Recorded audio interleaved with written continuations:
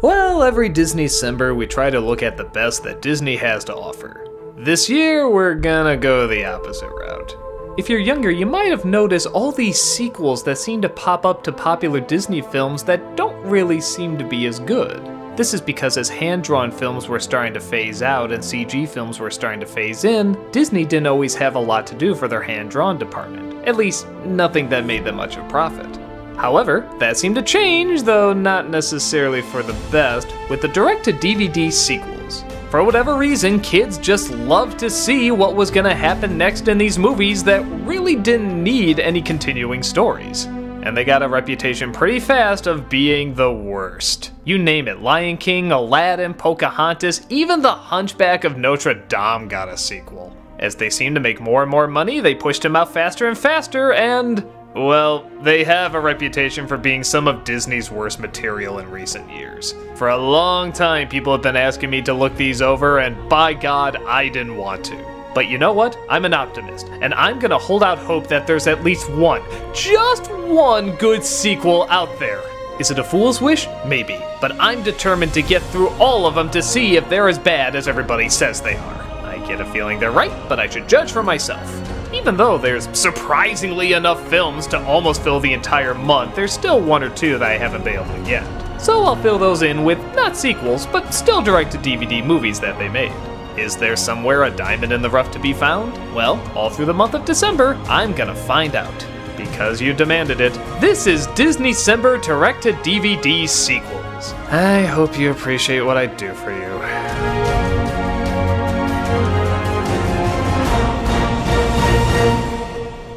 So let's go to where this all started. I remember I got the VHS of Fox and the Hound, as soon as you open it up, there was a little pamphlet that said one of the greatest villains was coming back. You open it up and you saw Disney's The Return of Jafar. Holy smokes, to a little kid, this was amazing. Aladdin was one of the biggest films that ever came out at that time, and Disney never really did any sequels apart from The Rescuers Down Under. So we were beyond excited to see another Aladdin movie on the big screen. As more time went by, though, we realized it wasn't going to be on the big screen, it was going to be direct to VHS. Well, okay, it was still an Aladdin sequel, and it was done by Disney. It still has to be pretty good, right? Well, then we saw the trailer for it, and man, there was a serious downgrade. It was pretty obvious from the first frame what this was. This was Disney trying to cash in on a popular movie, which they've done before, but not usually with a sequel and not usually with such a difference in animation. So, yeah, the hype died down pretty quickly, but we were still kind of interested in seeing it. After all, it was Aladdin, and we wanted to know what evil scheme Jafar had up his sleeve. The film centers around Aladdin getting used to his new palace life, and apparently still unable to put on a shirt, when Iago the parrot escapes from Jafar's lamp and tosses it away, trying to convince Aladdin and the gang that he's changed for good, even though he really just wants a new position of power. On top of that, the genie returns too. Eh, sort of. Robin Williams didn't come back to voice him this time, and it really shows. They got Dan Castellaneta, the voice of Homer Simpson, to do him instead, and to be fair, it's not a bad choice, he can do a pretty good impression. But so much of the genie was Robin Williams just doing his improv, and nobody's as good as him. So immediately it's a little distracting. But Jafar returns as well as a thief, played by Jason Alexander, accidentally releases him, and Jafar's the genie promises to grant him his wishes if he follows through with his revenge. So Jafar plans his evil scheme by framing Aladdin, making it look like he killed the Sultan, all while locking up everybody else away. The plot in general is not that bad, and to its credit, Jafar's revenge is actually a pretty good one. But nothing feels as fleshed out as the original. In fact, Aladdin doesn't even seem like the focus. It feels more like the focus is on Iago. He's the one that has the story arc, he's the one that's torn between two places. But in terms of what made the original Aladdin so enjoyable and continuing it here, a lot of it just doesn't transfer over. Whether they didn't have the time or the budget or whatever, it just feels really rushed. Aladdin and Jasmine don't have much chemistry, the genie's not really that funny. The animation, though I know they're trying, just can't compete with the incredible colors and movement that the first one had. Even the songs aren't as hummable. And yeah, way too many of them are given to Gilbert Gottfried. Because that's a voice I want to hear put to music. I remember when my brother and I first saw it, we were more making fun of it than actually getting sucked into the story. But again, being kids, we did put it on once or twice after. We kind of accepted what it was, just a cheap knockoff rushed out really fast, and I guess as cheap knockoffs go, it's not the worst, it's just not very good. Its purpose is made totally complete by the ending, where it just seems to end really abruptly. They just say, hey, we want to go see the world, and it just kind of stops. I remember we were scratching our heads what that was about, and then a few days later, the Aladdin cartoon show came out. So, yeah, really all this was was a pilot episode for the Aladdin cartoon. Honestly, I probably would have liked it more if it just came forward and said that's what this was. If they just announced there was an Aladdin show coming out and this was going to be the first episode or a couple of episodes tied together like what they usually do with the Disney afternoon. But no, they had to put it on VHS, slap Return of Jafar on it, and thus we now have to judge it as a Disney movie. Not a theatrical release, but still a sequel to a theatrical release. And in that case, it's pretty bad. What would have made a passable TV pilot is now the beginning of a long line of disappointing DVD sequels. The only part that kind of gets a chuckle every once in a while is Jason Alexander as the thief. But that's because it's Jason Alexander and anything he touches is hilarious. Well, almost. Disney did manage to crush him once. But even when he's saying unfunny lines, he can get a little bit of a laugh out of them. He's just that good. As for the rest, I think the word to describe it is probably awkward. It's not god awful, it's not like there was no effort put into it, it's just awkward. Looking back years later, it's not that big a deal, especially when you know all the sequels that are gonna come out after. But for a bunch of kids that were excited to finally see a sequel to one of the biggest Disney films they've ever seen, it was pretty underwhelming. I know it has a soft spot for some, I was just never one to get into it. But this would only be the beginning of the Disney sequel suckfest. More were on the way, and there was so much more suffering to be had.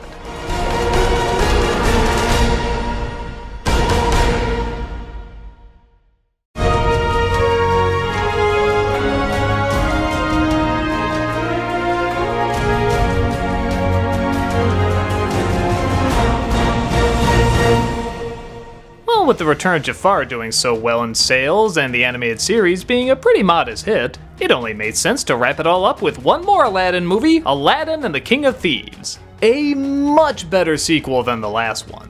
Not only is it more cinematic in both the story and its visual style, but it actually puts the focus back on Aladdin and the troubles he's going through. Does that make it good? I don't know if I can go that far. There are still a lot of things that don't work about it. But I can at least say I was genuinely entertained and even kind of impressed. Aladdin and Jasmine are finally getting married. Yeah, I guess they pushed that whole three days thing off a bit. But like he said, he's the Sultan and can change the laws, so why even have a law that she has to be married? Oh, who knows. Fairy tales, haha. But Aladdin is feeling sad because he can't invite his father to the wedding because, well, he never knew his father. But that all changes when he discovers his father is actually the king of the 40 thieves and tries to rob the wedding. He's trying to get the scepter that's in the palace that contains an oracle that can tell him where the greatest treasure of all is, the Hand of Midas. Aladdin and his father, played by John Rhys Davies, finally meet up and don't know what to really make of each other. The father is confused about how he made it to a place of royalty, and Aladdin is confused why his father is still a thief. Both want a relationship to bloom, but both have issues trusting the other, especially Aladdin trusting his father, and we find out kinda rightfully so. The father still wants to find the Hand of Midas and will do anything to achieve it. So Aladdin puts off his wedding and goes back and forth trying to figure out whether or not he wants to help his father and get the treasure, or if he just wants his father back to be, well, his father. And yeah, this is kind of the main problem with the film. I give them credit for tackling the issue of fathers that aren't very good fathers, as it can be a very tough issue. Sometimes can turn over a new leaf, but other times are still caught in this selfish cycle. But here's the problem Aladdin's father's cycle doesn't really make sense. He says they left Aladdin because he couldn't provide for him and his wife, so he goes and joins the 40 Thieves to get his treasure so that, well, he can support them. They clearly find a lot of treasures, but he never comes back. Well, okay, maybe they are building him up as kind of a deadbeat dad. But no, they try to give him these sympathetic moments, which I'm usually for, except it doesn't match at all what he was talking about. Anyone that talks like how this father talks about his son wouldn't do the things that he does. He would be happy to go to the wedding. He wouldn't give a crap about the treasure. In fact, there's really no point to care about the treasure. He can just go and live in the palace. It's all just a pride thing. But then at the end, he throws away the treasure, even though he tried so hard to get it. But wait, Aladdin was helping him find the treasure too. Why does Aladdin suddenly care about this? It's so weird to see Aladdin just abandon his wedding and then be like, hey, let's go find this treasure that really I don't care about. But he does it really cheerfully, and the father is all okay with it, and it just doesn't add up. The motivations constantly go back and forth, but not in a way I feel was intentional. If you want to see this kind of story done so much better, watch Adventure Time and Finn's connection to his father, or even, strangely enough, Fresh Prince of Bel Air and his connection with his real father. These shows get it, and they know how to explain it well. I don't think this one really does. It feels more like they want to do something with Aladdin connecting to his father, but they also want a treasure hunt. So they just kind of smash them together and yeah, given the probable short amount of time that they had on this, I guess I can't be surprised what we got. But that still doesn't mean that the heart and focus works, and when the heart and focus doesn't work, the film really suffers, and it's hard to get behind it. But that's not the only problem. The first Aladdin was very good at balancing out the characters. Everybody felt like they got the appropriate amount of screen time. In this one, it's mostly on Aladdin, which is better than Return of Jafar, where it was mostly on Iago. But all Jasmine does is show some support and then mostly stays out of the picture, and all the genie does is want to plan a wedding. Speaking of which, let's talk about the genie because Robin Williams is back to voice him, and that's both kind of a pro and a con. It's a pro because it's Robin Williams, and his improvising is incredible. But it's a con because, unlike the first film, they don't always know when to cut him off. Granted, in the original, they do leave the camera on him too long sometimes, but they knew to keep the focus on Aladdin and the story and so forth. In this one, I actually kinda dreaded whenever the genie was gonna come on screen. Even when he made me laugh, it just didn't connect to anything. It's like he comes in and just hijacks the movie when we could be spending more time trying to get the motivations of Aladdin and his father down. Or give Jasmine more time, or make the villain more interesting. Just every time he shows up, even when it's hilarious, it still feels out of place. At first I thought the songs were going to be really good. The first one really had me tapping my feet and kind of humming it afterwards. But then, outside of a duet from Aladdin and Jasmine, they all sound exactly like that. I swear it's like the exact same song and the exact same rhythm, just a few notes are missing or changed. There's very little variety, which is ironic because I know more than one songwriter worked on this. But for all its problems, like I said, there are a lot of good things. Williams' jokes, though they do go on too long, are still mostly funny. They do at least try to tie in some of the characters at the end. Jasmine throws a punch and the genie gets a few action scenes. And like I said, you can tell they're trying to go that extra mile. Look at some of this animation. This is the same crew that brought the Aladdin TV show to life. TV shows back then didn't have a big animation budget, so for them to come together and pull off something that looks this good, it's really impressive. The angles, the movement, the lighting, the colors. You can tell they knew this was going to be the last thing Aladdin related, and they wanted to try their hardest to make it good. And give them credit for all the action and singing, there are a lot of times where people just sit down and talk, when it's actually needed and welcomed. And those scenes don't feel forced, they flow very naturally. It's just, once again, the motivations. There's a difference between being intentionally complex and sloppily complex. I feel like this movie had a lot of really good scenes and ideas, but no concentrated narrative to have them connect or flow. So it's a tough call. I don't see it really working as a film, but I'm also kinda happy I saw it. It was visually interesting, it was creative, you could tell it was trying to have a real heart and soul. And I give it credit that was trying to wrap up both the TV series and the movies. It even ends with the merchant singing the song at the end. Those are kinda nice bookends. I get a feeling if I was a little kid I'd be into it, and as an adult, there's some neat stuff. It's just that none of it ever really connected.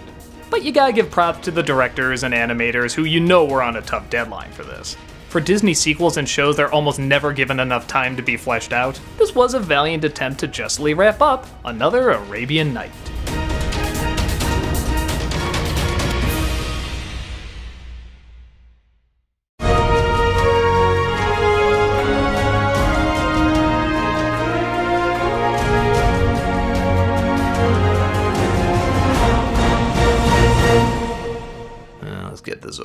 Belle's Magical World. I can safely say that this is the first Disney sequel I've seen during this Disney December that is clearly just doing the bare minimum. Hell, I don't even know if it's doing that. I guess with the popularity of Beauty and the Beast Enchanted Christmas, they felt, well, why not do another one? Just something, anything. I don't know, throw it out there. And that's what this movie feels like. They just took something, anything, and vomited it up for us. What's the story? There isn't one. Well, no, there, there's like four or five. It's not even really a movie. It doesn't really begin, it doesn't really end. It starts off in a lame ass CG library. It gives us the setup again how Belle traveled to a castle and comes across all these little characters and the beast, and then it's just a few stories about when she was there. There's a part where she's angry at the beast and they fight over who's gonna apologize first. That ends. Then there's a part about Lumiere being in love with the feather duster. That ends. There's one where Mrs. Potts feels left out. That ends. And there's one with a bird with a broken wing. That ends. And then it all ends. That was it. it. It doesn't even wrap up. The opening at least had a narrator saying, hey, this is going on. The ending just, it just stops. It's pointless. It's stupid. There is no reason for it to exist.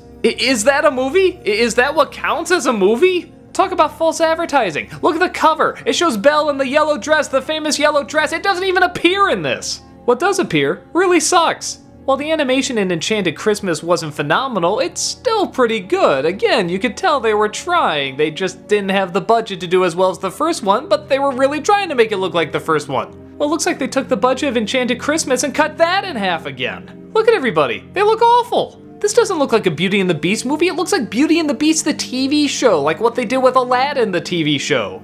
Was that the idea? Was this going to be a Beauty and the Beast TV show, but then they just scrapped it at the last minute? But they figure, eh, we got four or five of these already done, just slap a movie title on it and say, Belle's Magical World. What's even magical about it? We've seen all this before. There's nothing new. It's just, we're used to this. There's nothing even that magical about it. What is that weird face that has now become a meme magical? Oh, okay, actually that is a little magical. But everything else is totally pointless. If you're just gonna lazily throw these things together and expect it to be a movie, expect it to be judged as a movie. This is clearly just something for three or four year olds. I know what you're thinking, oh, isn't that like what the original Beauty and the Beast was? No! It was nominated for Best Film, not Best Anime Film that didn't even exist yet. Maybe it's because of this movie that that category exists. I just, come on, it's Disney.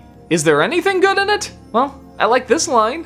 What shall we do? There is only one thing to do. We must scream like bloodless cowards. Ah! This one's kind of cute. Hold on, Lumiere. Considering the option, I had no intention of doing otherwise. I guess the cartoony animation isn't that bad, but the animation when it's supposed to look serious, like in Belle or the Beast, is just pathetic. So, yeah, two lines from Lumiere, some cartoony stuff that, because of the low bar, I have to congratulate them on looking cartoony. But aside from that, no, there's really nothing. If you have a toddler that likes anything, show this. Because they'll like anything. Belle's Magical World, it sucks. I'm on to the next one. Bye.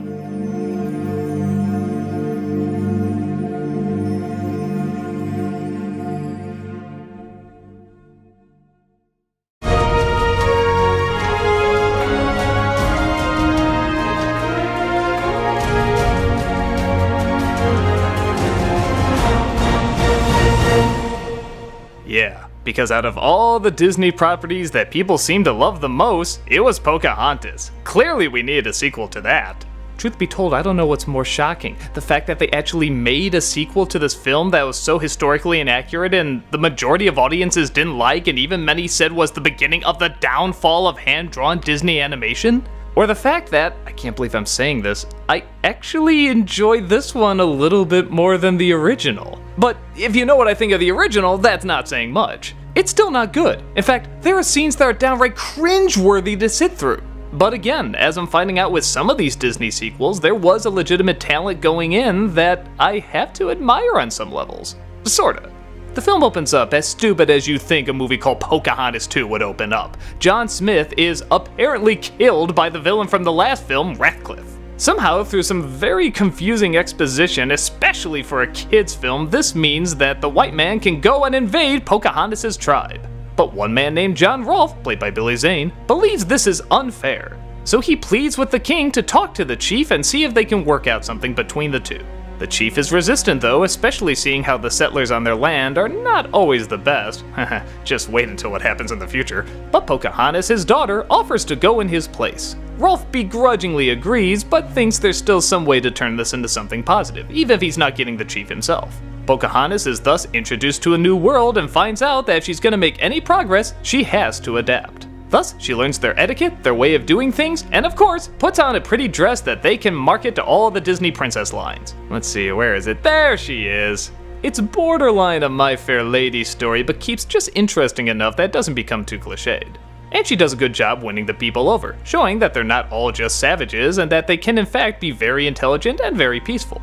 But when Ratcliffe brings in a bear to torture, as apparently this was some sort of entertainment in the day, I'm not sure if that's true, but if we allowed bullfighting, guess anything's possible. Pocahontas stands up for the poor creature, thus driving the king insane for some reason, orders her to be thrown in jail and the attack on her people to begin. And we go right back into stupid territory again. With sword fights, John Smith returning, a romance blooming, even though apparently the person she fell in love with before doesn't count anymore, even though he was kinda still interested, but not. But it's okay because her as the capable, strong hero is suddenly seen doing very little in terms of saving the day all of a sudden. It gets so stupid.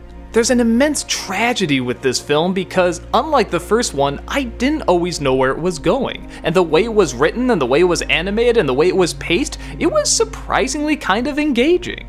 With the first film, I knew every second, every line, every character, what was going to happen. It was so predictable. You knew the exact message, plot, when things were gonna happen. It was just ridiculous. The only thing it really had going for it was a good color scheme and some nice music. Here, the color scheme and music aren't quite as good, obviously with the budget cut, but there is still a lot of artistic merit. Not only is some of the scenery really nice, and by god, I forgot what a good singer the voice actress of Pocahontas is, but I felt the expressions in this were much stronger than the last one. In fact, a lot of scenes of pointless dialogue are taken out, just replaced by how they look. Look at this scene where Pocahontas is saying goodbye to her best friend. They barely say a thing, but look at that. Look at the emotion in their faces. It's remarkable. There's another great scene where she first sees the king and she freezes. They never explain why, they never talk about it, but you just feel the moment. And it's a quiet scene, there's not a lot of in your face music, it can actually be very subtle. There's a real conflict between how much of Pocahontas' culture does she give up to adapt and how much does she hold on to. What does she sacrifice for the greater good? That's 10 times more interesting than what we got in the last film, where you knew from begin to end what was gonna happen. I really hated how at the end of the last film she didn't go to the new world, she just stayed with her people, and I thought, why? Why are you closing those possibilities? Why are you just keeping things separate? But in this one, you do see the lands explored. You see how she reacts to things, and it's interesting, and it's charming, and the romance is nice, and this whole side character that's following her around trying to protect her, he's cool. I like how all the people don't know how to accept her, but they don't immediately shun her. They're just curious, they're unsure, and I don't know, it just felt more relatable. It felt more interesting which is both surprising but also a shame that it started off so terrible and it ends so terrible. I've never seen a movie where the middle was the best part. Again, for what these people had to make and what could have so easily been a phoned in project, I really felt they were trying. It just didn't work. Whether it be because of notes from Disney, or they just made the wrong choices, or they didn't think the thing all the way through.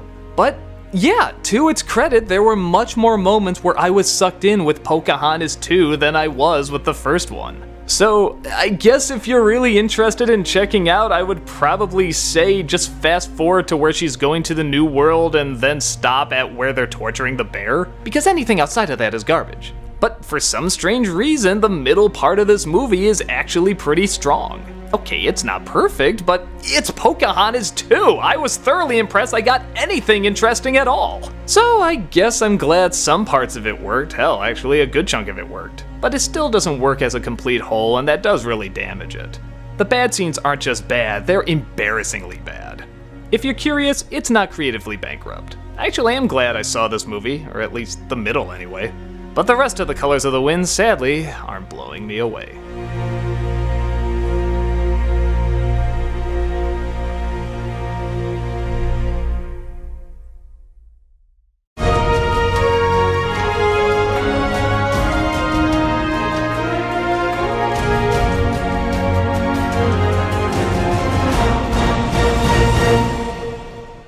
I started telling people I was doing the direct to DVD sequels, a lot of people were saying that Lion King 2 actually was okay.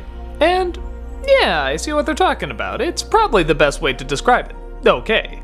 Is it the first film? No. But is it Belle's Magical World? No. It's not good, it's not bad, it's not incredible, but it's not awful either. It's a perfect middle of the road film that you would probably expect.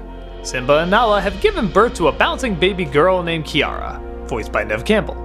Simba shows her the ropes just like his father did, but it turns out there's a dark, shadowy place that they need to stay away from. No, not the hyenas, now it's the outsiders. A group of lions that like the leadership of Scar and vow to get the land back. Their leader, named Zira, is training a lion cub named Kovu to be a cold blooded killer who grows up, kills Simba, and ultimately takes control. Why him? Well, apparently he's a not descendant from Scar. Yeah, it's a little confusing. He's not his son, but Scar took him in as his own, even though there was never anything in the last movie that showed they did. It's pretty forced and stupid, but oh, it makes the message in the end so much stronger. Kiara, of course, befriends Kovu, but they're told that they're gonna grow up to be natural enemies. A few years pass, and seemingly it looks like Kovu wants to leave his pack having saved Kiara's life and using that as leverage to join Simba.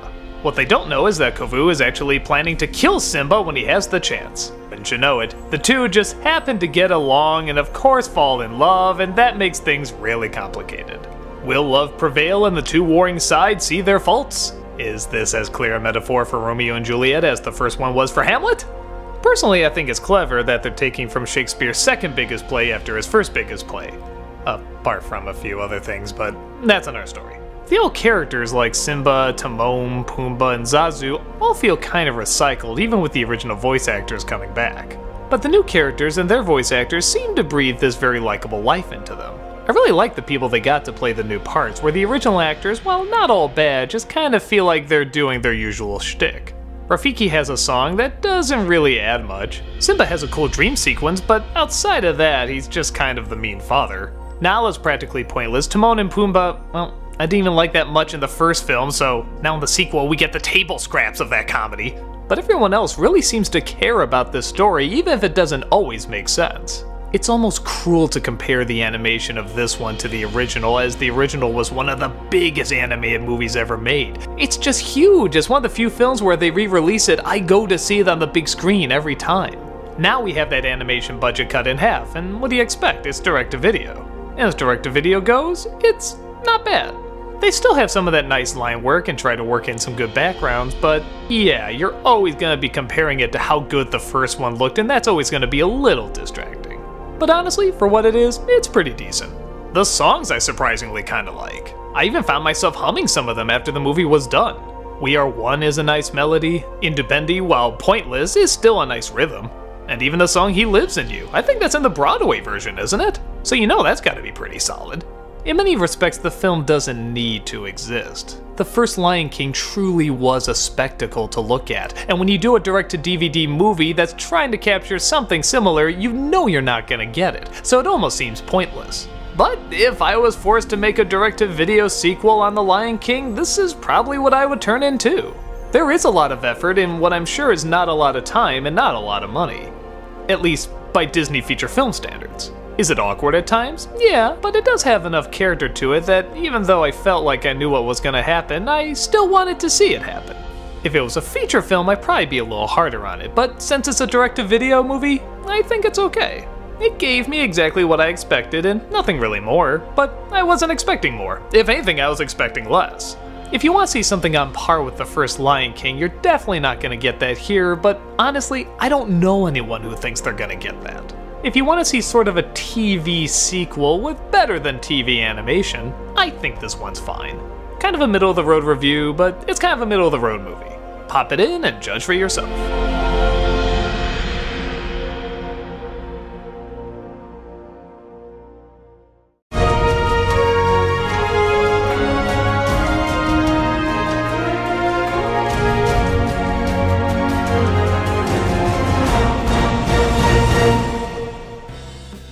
After a film as 90s as a Goofy movie, we can go even more 90s-er with an extremely goofy movie. Yep, because everything in the 90s was extreme! Actually, I'm surprised I didn't spell this with an X because, well, we'll get to that in a minute. I guess in a sense, this is exactly what I think of when I hear direct-to-DVD sequels, or at least what I thought they were gonna be before they started doing the big popular movies. Goofy Movie was a modest success, and it did pretty well on VHS, so I kind of figured to do a direct-to-DVD movie. That's just kinda what they did back then. And honestly, you get what you'd expect a movie like this would offer. It opens with Max and his friends getting ready to go off to college. Goofy once again is having a hard time as a loving parent letting go of his kid. To its credit, while it is cramming a lot of the cool stuff at the time in your face, it does take some time to actually be a little emotionally considerate. But things go south when Goofy is fired from his job and has to find another one. He's told that the majority of jobs require college degrees nowadays, so enter exactly what you think is gonna happen. Goofy goes to college with Max. And enter pretty much every other thing you think is gonna happen. Max enters a competitive sport, there's a bully that makes fun of him, the preppy cheaters who make fun of the fact that his father is there, who of course makes things worse, Max is embarrassed, their relationship is pulled apart again, and of course it ends with some sort of big sports event. Oh, did I say some sort of event like I forgot what it was? No, no, I remember. You couldn't forget for the life of you. It's the X Games. Because they pounded the hell into you. It's beyond obvious that Disney owns ESPN because they plaster that everywhere too. Max's whole goal in this thing is to enter the X Games and win it. It's so weird to see that logo without some sort of parody or satire in there. But no, it's all just one obvious commercial. It's really weird. So, okay, the story is about as recycled as it can get. Is there anything good in it? Yeah, there's a couple things. Like I said, there's one or two emotional moments that are brief but effective. I feel like the animation is trying to be funnier than it's allowed. Like the bully character. He's animated funny, he's voiced by a funny voice actor, but he's just not given any dialogue or scenes that are very funny. But at the same time, look at him. You kinda wanna laugh at him a little. Goofy also starts a bit of a romance with this librarian, who's also a little quirky and awkward. And again, look at how she's animated. You do kind of want to laugh at her. But the key word is want, as in they want you to laugh, they want to get a reaction out of you, but there's just not that much substance there. Some scenes I don't even get. Like Max and the bullies are in this beatnik coffee house, which, do those even exist anymore? I mean, I know there's coffee houses, but come on, these people look like they're out of the 50s, not the 90s. And they all start snapping. That, for some reason, scares the bullies away. I don't get it. This whole movie feels like a really good joke being set up, but for whatever reason, we never quite get the punchline. It kind of holds back and never becomes anything, and just sort of falls into that mesh of typical college movies, except now for kids. Hell, did this inspire Monsters U? Oh, I'm so thankful for that. I don't think these are as entertaining as Disney thinks they are. It just kind of feels like opportunities that are never fully taken advantage of. And speaking of which, I'm just gonna say it, I miss Roxanne! I mean, I know high school, going to different colleges, puppy love, separation, all that stuff, but I'm sorry, they were a really cute couple. Couldn't the movie have been about that? Maybe about them breaking up or deciding whether or not they wanted to stay together or going to different schools? You know, actual interesting stuff, stuff that some kids may need to know when going to college? But nope, it's all about being the sports star and trying not to be embarrassed by your wacky parents. I'd see this only if you're a die-hard Goof Troop fan or I don't know, an example of a movie trying to save itself despite a bad script. But now that interests you, it's exactly what you think a direct-to-DVD movie's gonna be. Take it for what's worth and see the X Games yourself. I mean, extremely goofy movie yourself. God, stupid tie-in.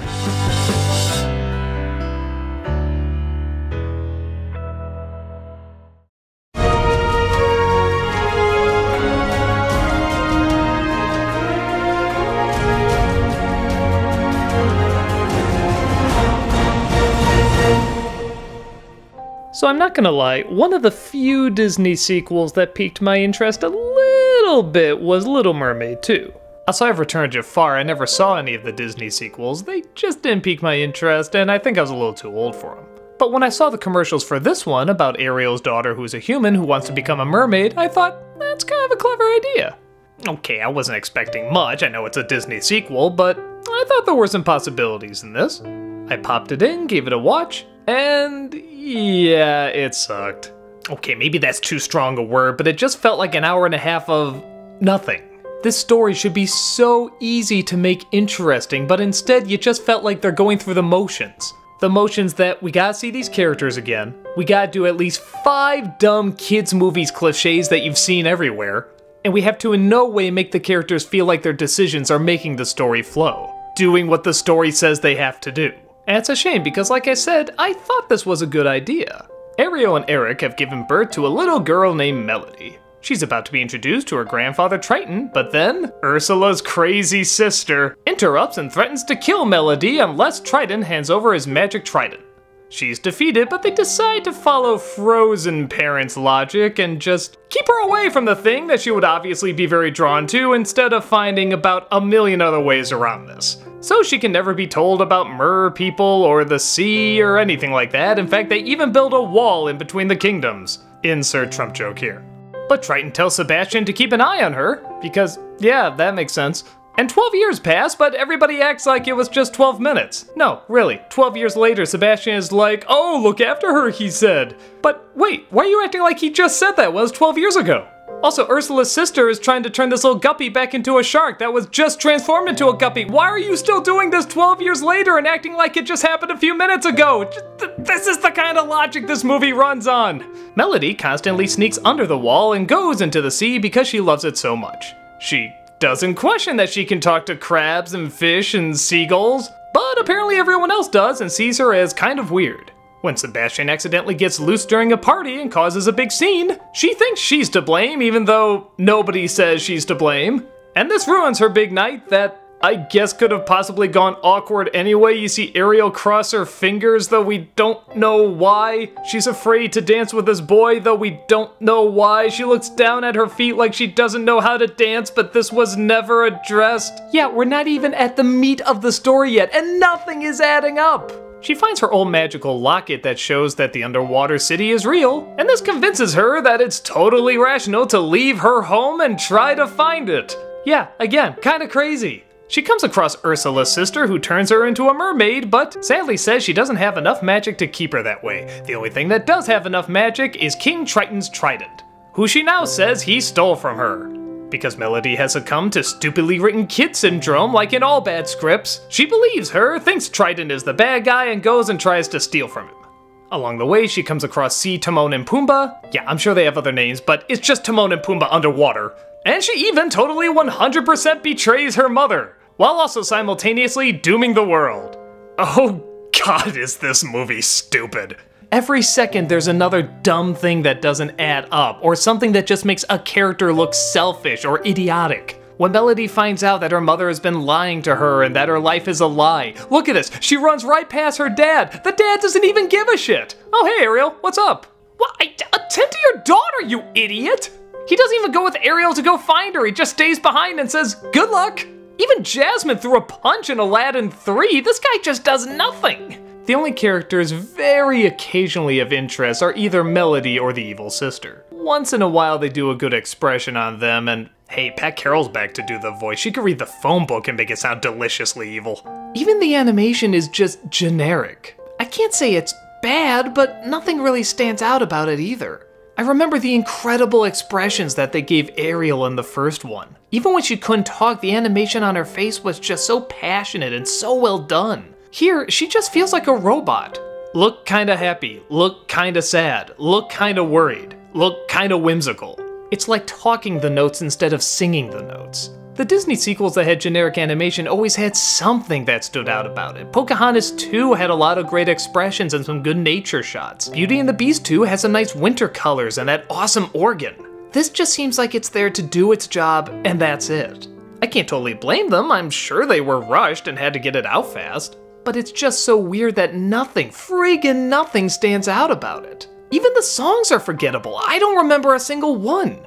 I don't know, I guess I shouldn't be shocked. I mean, it's a Disney sequel. This is what we're supposed to expect, but I really like this idea. I wanted to see more of Melody longing for the sea. I wanted to see more conflict between her and the parents. I wanted her when she finally gets into the ocean to see what a spectacular world it is, like her life is starting anew. But instead of feeling any of that, you're just kind of shown it. You're told what's going on and not experiencing it.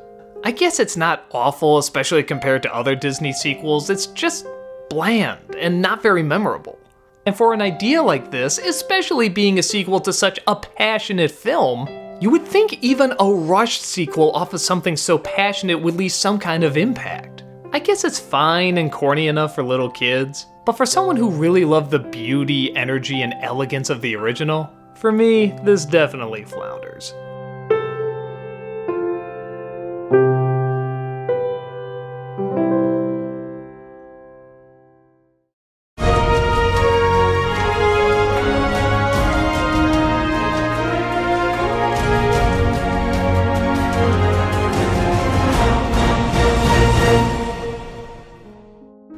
The Disney sequels I've reviewed so far, Lady and the Tramp 2 seems to be the closest in spirit to the original.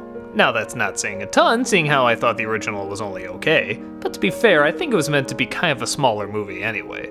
As soon as its sequel starts, you'd swear you were in the exact same film. The animation is really top notch and looks eerily similar to the original. I don't know why they throw all their effort into these Lady and the Tramp films. I mean, they're just dogs walking around. Why would you make them look this good? But they do, and it's beautiful to look at. The story itself ranges from generic to actually kind of okay. But again, for a Lady and the Tramp movie, it's not like I'm expecting anything spectacular here. The film takes place not even a year after the original. Lady and the Tramp still have puppies and they seem to be a happy family, but one of them seems to get into a lot of trouble. That being Scamp, voiced distractingly so by Scott Wolf. Yeah, look at this thing. You expect a cute little kid voice to come out of it, something high pitched, but instead, what do we get? But I want to run wild and free like a real dog. God, does that not fit? I go wherever I want, do whatever I please. You know the only reason they went with this voice is so they could get a semi celebrity in there, and it just doesn't work. But thankfully, the rest of the voice actors aren't that bad, as he wants to run away from home and join a bunch of junkyard dogs. One of them, named Angel, played by Alyssa Milano, takes him under her wing and shows him the ways of the outdoors. But things get tricky when Scamp doesn't know where he belongs, in the home life or the outdoor life. It gets even trickier when it looks like Angel wants a home life and even had a home life, but has had her heart broken many times before. And even trickier when the leader of the Junkyard Dogs has it in for his father. Yeah, it sounds like a semi reversal of the first film and not really too interesting, but actually they do quite a bit with it. The pacing in this film is a lot slower than other Disney sequels, and it's very welcomed. Much like the original, there's this real elegance and color to it. The backgrounds are just glowing, and when a character goes through something, they don't just say a line and then run away, they actually kind of sit there and let the moment sink in. The songs are actually rather fitting too. Okay, there's an occasional lame lyric here and there, but the style matches the time period perfectly. There's even a ragtime in it. And for these types of songs, they're actually done pretty well. Does it all work? No, there's definitely the cliches that you can see coming, and certainly a groaner line here or there, and I really didn't get what age everybody was supposed to be. I mean, okay, Scamp is supposed to be a puppy, but they get an adult voicing him. Well, okay, maybe he's still a little kid. But Alyssa Milano voices the other maybe puppy. They don't really make it clear if she's a puppy, maybe she's just a small dog. But there's clearly a romance blooming between them, so okay, maybe she is a puppy. But then she talks about how she's been in and out of five families. Five families? You can't be that young and go through five families, but okay, give the benefit of the doubt. Maybe she is, maybe she is still a puppy. The leader of the junkyard dogs, clearly an adult, has the hots for her, always calling her his girl. How does this work? So yeah, little scenes like that and kind of a phoned in climax make it lame at some points. But truth be told, I was actually kind of impressed with how much it felt like the original Lady and the Tramp. They do try to make you feel something, they do show the dilemmas the characters are going through, they do take the time for it. I can't really say it's great, because I don't think the first film or this one were meant to be really great. They're supposed to be small, elegant, pleasant little movies. And okay, there's definitely problems that hold me back from liking it as much as the first one. I mean, the first one did have a little bit more of an edge to it. But I think if you're someone that actually wanted to see a sequel to Lady and the Tramp, this'll do you fine. If this is a story you, for some reason, really want to see continue, I say check it out. It might be an adequate spin off to dig your paws into.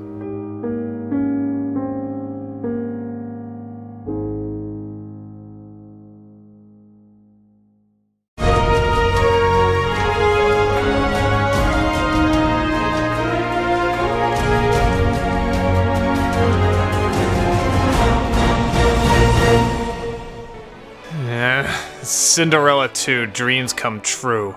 And if you think that title is unbelievably boring and generic, well, you just summed up this entire sequel. Why do people think there needs to be more than happily ever after? That's a perfectly good ending. It's the most popular ending of all time.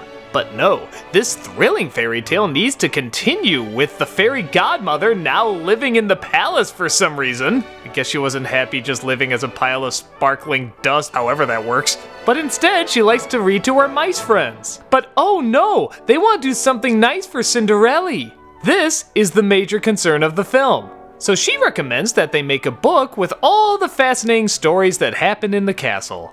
That's right, all three of them. Because that's all that's worth telling in an hour and a half, and honestly, I don't even know if those are really worth telling. Yep, it's another one of those anthology stories where they just throw three separate stories together, don't really connect them that well, and, well, everybody suffers for it. The first story is about Cinderella learning how to be a princess. She has to learn how to dance right and dress right and turn away commoners and cook boring food. It's hard. But it's okay, some R&B pop songs help her out. Bibbidi Bobbidi Boo, So This Is Love, all these classic songs? Hell with that shit that nobody will ever remember. Now we have pop songs sung by pop singers whose nobody's names they remember even if they sneeze it by accident. You want a real good laugh? Fast forward to the credits and hear their R&B version of Bibbidi Bobbidi Boo. I'm not even kidding. It's pretty hilarious. But that's just one of the three boring ass stories. Jacques is apparently tired of being a mouse, so the fairy godmother turns him into a human. But being a human is really hard, and you can guess where his bullshit goes from there. The last story is about her stepsister, Anastasia, wanting to get a date for the ball. The fact that any of them would go to the ball after everything that's happened is kind of funny, but what's even funnier is that Cinderella is totally okay with helping her out. Yeah, all that sabotaging, locking her in her room, all forgiven. Cinderella just wants her to discover how to be her true self. But being her true self is hard. Ah! The sequel in so many ways reminds me of Belle's Magical Journey, right down to all the stories that they try to tell and don't really tie them together. Is it quite as bad as that one? I guess not. I mean, the animation is 10 times better than it deserves to be. And give it some credit, they tried to tie it together even if it was really loosely, and they kept the stories really short, just down to three. But Big shock, none of these stories are really interesting and definitely not worthy of the title Cinderella 2. At least Beauty and the Beast didn't call it Beauty and the Beast 3. This is marketed as a direct sequel, and it's obviously not. It's just some stories they threw together. But come on, haven't you ever wanted to hear Cinderella say, this hair? Ew. This hair. Ew. And haven't you ever wanted to see Lucifer wear a Rastafarian hat? Oh my god, what?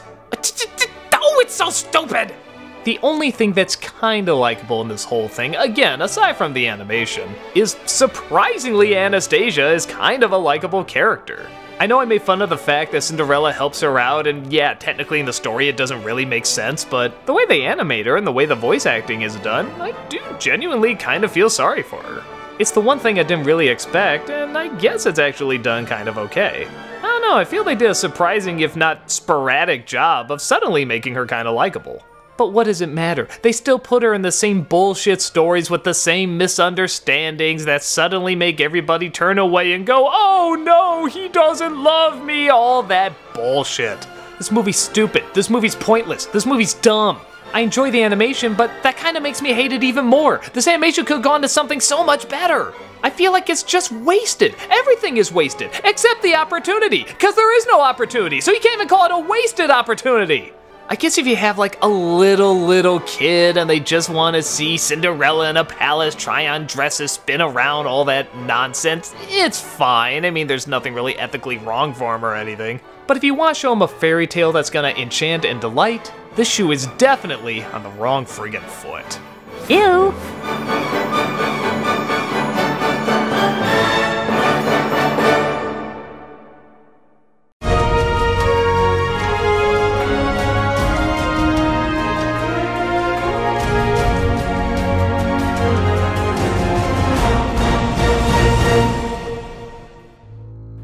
This hurts. Hunchback of Notre Dame 2. Of all the films that shouldn't have a sequel, this is one of them. And of all the films that people were telling me to beware of the most when doing these sequels, it was Hunchback of Notre Dame 2. The sad thing about it, though, is even though it is terrible, it's terrible for different reasons than I thought it was gonna be terrible. I mean, don't get me wrong, the story is shit. A circus comes into town and an evildoer wants to steal this super ritzy bell that just happens to be in Notre Dame. It looks like any ordinary bell, but on the inside, it's gorgeous and beautiful and full of treasures. Get it? Get it? One of the circus performers is named Madeline, played by Jennifer Love Hewitt. She's working with the evil villain, played by Michael McKean, to be romantically interested with Quasimodo to lure him away from the bell so he can steal it. Of course, a real life romance blooms between them, but lie revealed. It's stolen before she can confess what's really going on. And of course, she has a tragic backstory that doesn't really make sense. She was a thief, and he's the only one that could look after her, yet really she could move anywhere and nobody would know about it. There's a million other ways around this. But if that seems too heavy and dramatic for you, it's okay. Haley Joel Osment plays the child of Phoebus and Esmeralda. And this introduces us to one of the biggest problems of the movie, taking mostly Academy Award nominated actors and just having them say stupid shit. It's so hard seeing so many great actors just given a generic bullshit script to work with, and that really is the biggest problem. The script is awful. From the initial setup, you know everything that's gonna happen, what every character is gonna do, when they're gonna do it. It's just ridiculous. And why do we need an appearances can be deceiving story when the first one was already an appearances can be deceiving story? But let's get to the toughest thing to talk about for me, and that's the animation. This was done by TMS, the people behind Akira, Batman the Animated Series, Animaniacs, some of the greatest animation I've ever seen, top 5 of all time in my book. But I'm not gonna lie, they just don't seem like the right choice here. Not that they can't emulate the Disney style, I mean, they look like the characters fine, it's just that this looks more like a Disney afternoon movie. And what I mean by that is TMS doesn't traditionally use a lot of CGI, Disney does. TMS doesn't usually use colored lines, Disney does. TMS's big strength is not in heartfelt emotion, but more aggressive emotion. Akira is aggressive, Batman is aggressive. Disney can be aggressive, but it's no more for the sentimental side. For example, when a character needs to be still, TMS has them almost completely still. Every once in a while, maybe a little movement. With Disney, they're always somehow moving. They have like a million in-betweeners, so when you're holding on a face, it still looks like there's some movement there. TMS doesn't function that way, it's supposed to be a little rougher. So, the more tough emotional scenes they do fine, like when Quasimodo finally reveals himself. She steps back, she's afraid, she runs off. That they did great. But scenes where it's supposed to feel whimsical and magical and lubby-dubby, that's just not their strong point. I keep expecting to see Wakko Warner come out and bash someone with a mallet. So the animation is still good, it's just not good for this. Which is a shame because they do sometimes pick some very bad American projects. So, is anything good? Well, Michael McKean as the villain is actually not that bad. I mean, the villain sucks, he really sucks, but the voice is legitimately kind of creepy, and I never thought I would get that out of Michael McKean.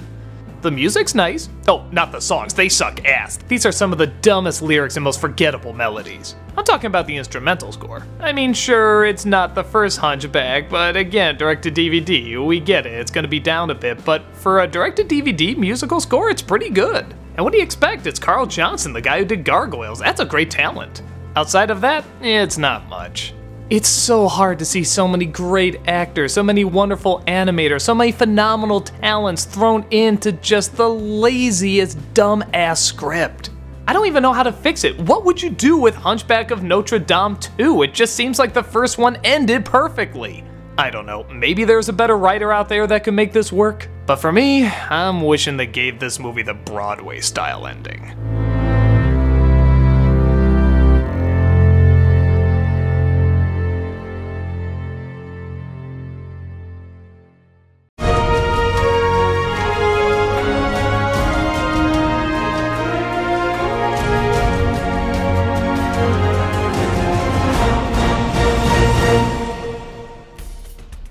You like to see? A sequel to Disney's Tarzan, one of the biggest summer hits when it came out? Or just three episodes of a cartoon pilot series strung together and saying, that makes it a movie?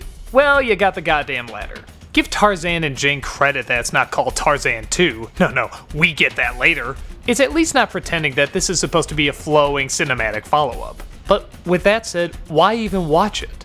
This is another anthology of stories that aren't really interesting, are usually pointless, doesn't have the same animation, doesn't have the same voice actors. They couldn't even get Phil Collins back. They just replay one of his songs in the opening and then have a completely different artist at the end sing them out. Are the stories tied together? Well, about as well as Cinderella 2 ties them together. Jane is excited because it's the one year anniversary of Tarzan marrying her, so she's trying to figure out the best way to celebrate. But every idea she comes up with seems to have a really annoying story attached to it. The first story is about her friends coming back from England trying to save her, even though she doesn't need saving. The second is about some evil guys who come to the island who trick Tarzan into trying to show them where some diamonds are. No, no, the diamonds are here. And the third story is about yet another asshole who comes to the island just to make things hard. The moral of the story is anyone who comes to the island not wearing a dress is gonna be a dick. What makes these especially funny is that everybody knows the story that's being told. Oh, I don't mean the audience, though we can guess everything that's gonna happen too. I'm talking about the characters. They literally know everything that happens. They live through it, yet for some reason they're sitting down and talking about it. Some of them don't even end with the same storyteller. One of them starts off with Jane telling the story and then ends with the elephant finishing it. What the hell happened in between? As you can tell from the animation, this doesn't look especially cinematic and looks more like a TV series, which it eventually became. This was all just a test to see if kids would watch Tarzan and Jane in several different stories. Well, guess what? People don't want a test. They want a movie. They want a show. Pick one and be it. I guess for a TV show, the animation isn't that bad. I mean, if I saw it on TV, I think it'd be totally acceptable. The quality of the voice replacements, though, rarely sound like the original. In fact, some even sound a little uncomfortable. The only thing more annoying than Rosie O'Donnell's voice is somebody impersonating Rosie O'Donnell's voice. I was there. I saw the apes, all right? Everybody sounds a little off, that is, except for Jane. Well, you know it's not Minnie Driver. Whoever does the voice acting actually brought kind of this unique energy to it. On top of that, Elaine's boss plays one of the villains. Now that's just ideal acting. And sometimes the friends get a little bit of a laugh too. I don't know, I think it's just the people doing the impersonations that are a little odd. Not the worst, just kind of awkward. It's made even more awkward by some of these lines. This one woman clearly has an attraction to Tarzan and talks about how hot it would be if he was in a cage. Jane, perhaps you could put it back in its cage now. Cage? He's got a cage? Uh, this is weird.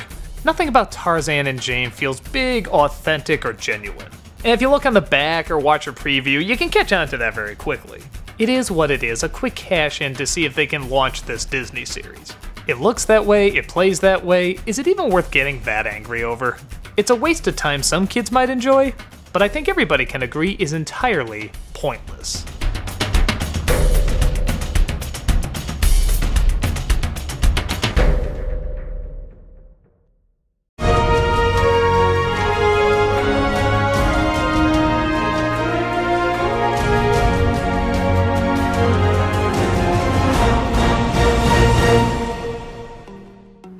I don't know if it's the string of particularly bad Disney sequels I had to sit through the last few days or the fact that this might actually be a good movie, but 101 Dalmatians 2 Patch's London Adventure is actually kind of a good movie. I dare even say, on par with the original. Yeah, I can't believe those words are leaving my mouth either. Really? This is the one? It has the spirit of the original, artwork similar to the original, some great updates, some good callbacks. It's exciting. I didn't always know where it was going to go. It's funny, adventurous. Oh my god, I think I came across an actual good Disney sequel. It begins not too shortly after the first one, where we see the Dalmatian plantation is about to be put into effect, so the family is about to move. But one of the puppies, named Patch, is feeling a little out of place. And it's understandably so. When you're the middle child of 101, you can get a little lost. Hungry for his chance to stand out, he sees that a TV dog named Thunderbolt is holding auditions for a new dog to be on his show. What he doesn't know is that his current sidekick, named Lil Lightning, has told him that they're about to kill off his character, so he needs to find a way to prove to the public that he's a real hero.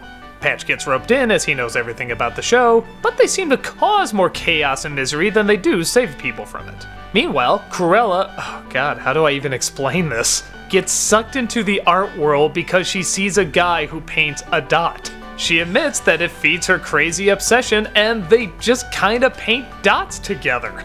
But he seems to be running out of inspiration, or at least she doesn't like the work he's putting out. So she once again tries to kidnap the puppies, only this time she's not gonna make a coat out of them. She wants to paint the canvas with them. Oh my god, that is delightfully psychotic. In fact, I think she's even crazier in this movie than she was in the last one. The funny thing is, as I describe this plot, I realize it's kind of a formulaic plot. Well, for the most part, the art stuff is pretty out there. But there's a lot of callbacks to the original, there's another liar revealed story, another kid feeling out of place, we've seen all this stuff before. In fact, this is about as typical a Disney sequel script as you can get. But there's one thing this movie has that those other Disney sequels didn't have charm. It's a charming movie. The characters are so likable. The comedy actually gets a few laugh out loud laughs. The pacing is never too rushed. The slow moments are perfectly slow, the fast moments are perfectly fast. The voice talent is especially good. That's Martin Short as the artist, he's really funny as hell. Cruella's voice is hilarious, the hero dog is delightfully full of himself. Jason Alexander is another villain, that's a lot of fun. And they got a real kid to play the puppy, not some adult just doing a high pitched voice like this that's just uncomfortable and weird. The artwork is also really great. These are some very distinct backgrounds that are very similar to the original. I like the original a little better because they were hand painted and these are clearly computer, but by god, they still look great. It can be extreme and over the top, but it can also be kind of subtle and delicate too. I guess the one thing that's missing from it is it doesn't feel quite as big as the original. I mean, the climax is another car chase, and it's just Cruella trying to catch the puppies again. There's even another scene where all the dogs bark to communicate. But in my opinion, the film makes up for it by having better comedy than the first. The first isn't especially funny, it's just cute. This one has a much better sense of humor, and you can tell the writing is trying much harder than it really needs to try, and I love that. I love taking this idea that really should only entertain your two year old and actually throwing in some witty dialogue. So, is it a great film? By no means, but you're talking to a guy who doesn't even think the first one was a great film. But the first one was good, and cute, and had some charm to it. This is exactly the same thing. I love the interaction off of these people. I love that cute little pup talking to the egotistical dog. I like that weird artist talking to the insane Cruella DeVille. I like the husband and wife doing a little counterpoint duet in the opening. It's just, it's likable. It's really likable. It reminds me a lot of the Wallace and Gromit shorts or the Shaun the Sheep movie. It's not like you're slapping your knee at the comedy, but there's just something inventive about it. Something so delightfully innocent yet still intelligent. Like I said, I can't act like this is any phenomenal feat of animation or cinema storytelling, but it's just a nice, enjoyable little movie. A movie that I couldn't predict where it was gonna go. A movie that had a line or two I might actually quote out of context. A movie I legitimately want to stay and watch until the very end. If somebody turned it off, I would go rent it and watch the rest of it. I know that's how movies are supposed to work, but for a lot of Disney sequels, that's not what happens. It's a perfectly entertaining little film. And after all the stinkers I've had to watch, entertaining little film to me equals amazing.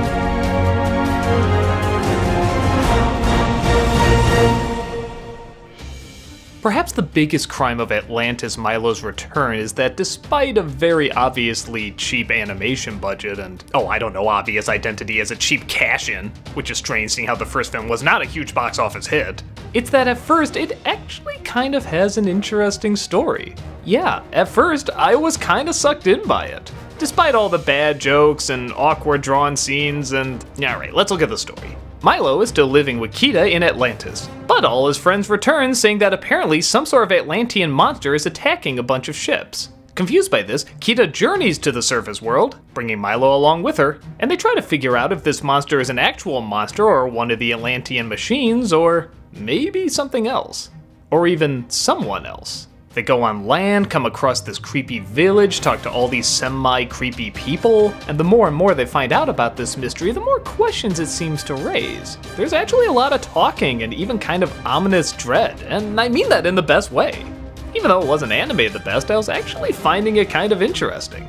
But here's the thing when they do find out what's going on and what's behind it, it seems to raise even more questions. Well, that's fine, but we never get the answers. There's questions about where the person who's doing this came from and how he's able to do what he's doing. Is he even doing what he's doing? Is he controlling the monsters? The monster controlling him? How can he possess other people? Is he possessing other people? It looks like he has to look into their eyes. Wait, now he doesn't need to look in their eyes. How does this work?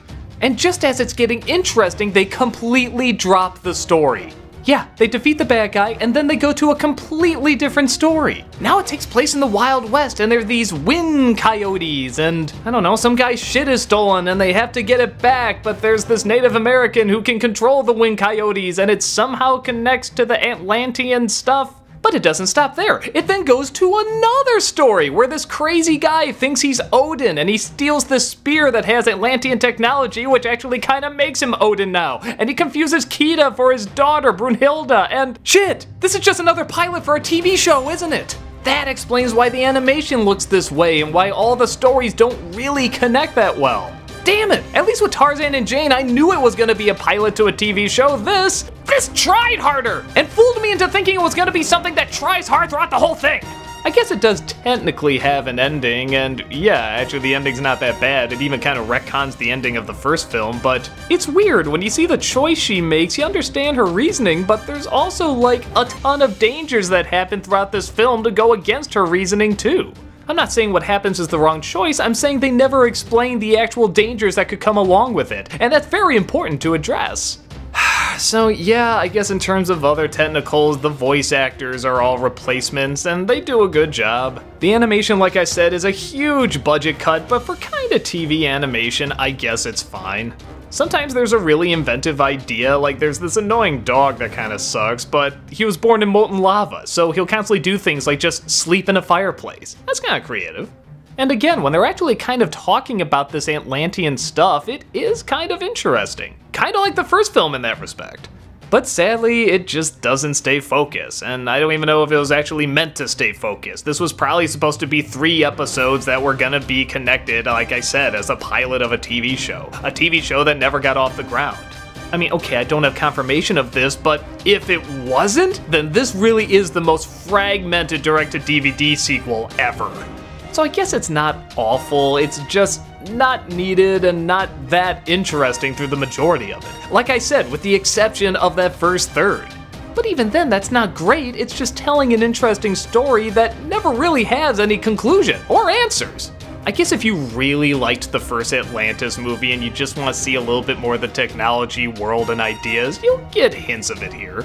But if you're looking for something more, this is something that should definitely stay sunk.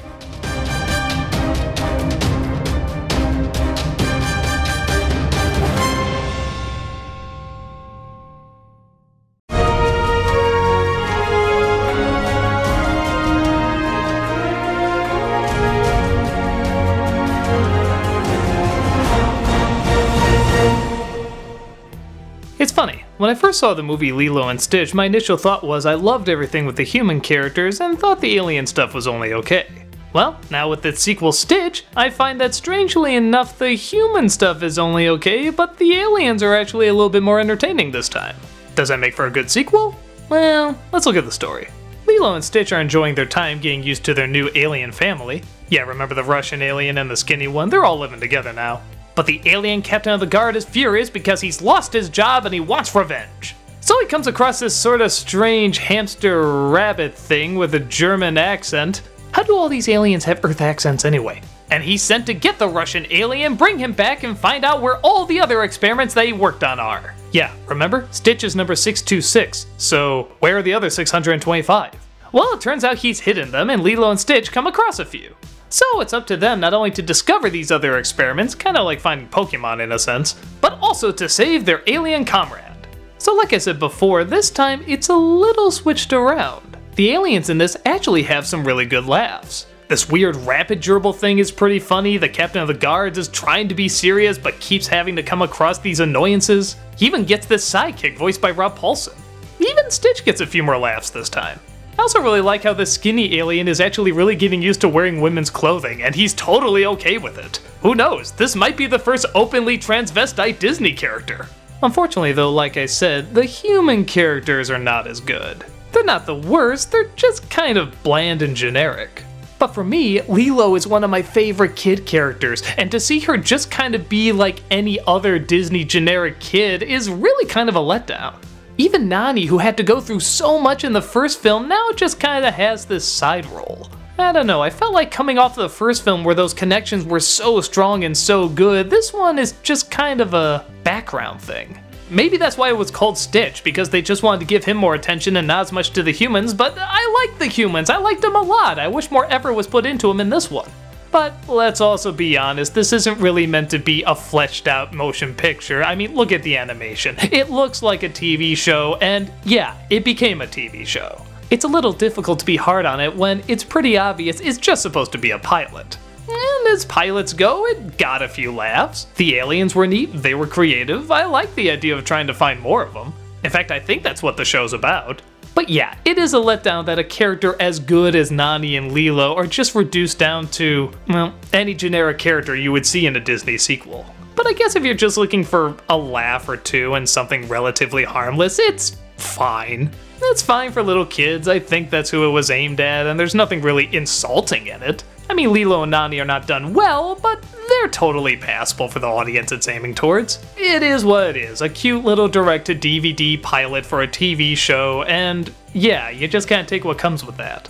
I wouldn't watch it again, I don't really think I got much out of it even watching it the first time, but for what it's trying to do, it does it okay. Get lost in space and see for yourself.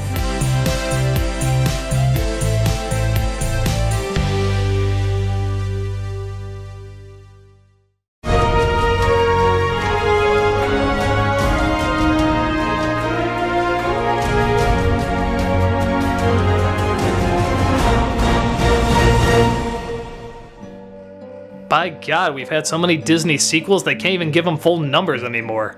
This is Lion King one and a half. Well, how does that work? It's because this film is a prequel. Uh, kind of. It's focusing more on Timon and Pumbaa and where they came from and all the funny ways they were interacting through the Lion King film without us even noticing it. A cute concept if you like Timon and Pumbaa, which uh, I don't hate them, but I don't know if I want to watch a movie with these guys. The story is, not surprisingly, about as generic as it gets. Timon is an outsider among his group, and one day he's put in charge to make sure the hyenas don't attack. Of course, he gets distracted, the hyenas attack, he feels awful, and he has to go find his own way. He ends up leaving, coming across a companion named Pumbaa. They form a bond with both of them being outsiders, and yeah, you just sort of see them insert themselves in random clips. Some are funny, like when you see what actually ended the Can't Wait to Be King song, but a lot of them just kind of seem pointless. You just kind of point and go, tee hee, oh, that's what was going on, ha ha, and half the time there's really no connecting story to it. When the story does come back, it's okay. I mean, there's sort of a nice connection with Timon and his mother. Once in a while, there's an okay laugh. But it's so strange seeing such good animation put to something that's clearly just kind of an in between prequel. Like I said, they call it one and a half. How is a movie called one and a half given this good animation? The only thing I can figure is because it is Lion King and that's one of their biggest properties, it kind of figured to give them the really nice animation, especially when it's supposed to connect back to the original film. But it's Timon and Pumbaa. Why are these great backgrounds being used for Timon and Pumbaa? That is to say, if there was a good story that went with it, like a really great story that surprised you, like Kung Fu Panda or the Lego movie or something that you didn't think was gonna be phenomenal but was, then I would understand it. But it's just kind of them inserting themselves into certain parts and not really flowing at all, and I don't know, it just kind of seemed like a mess, but not a god-awful mess, it still looked nice in parts. The only thing I can really say about it is, if you like Timon and Pumbaa, you'll like this fine. It's basically the Timon and Pumbaa movie. I don't hate Timon and Pumbaa, I just don't feel like watching an entire film dedicated to them. But if you do, maybe you'll like it fine. One or two of the songs are surprisingly kind of catchy. I swear that digging melody is gonna be in my head forever. And that's about it. Again, I think that's all it was supposed to be. I don't know if it's supposed to be like this grand film or this grand comedy. It's just supposed to be Timon and Pumbaa being Timon and Pumbaa. And if you like that, you'll like this fine. Me? I think the cartoon show was a little funnier, but I guess if you're looking for better animation, this is the one to check out. Give it a watch and see if it's slimy but satisfying enough.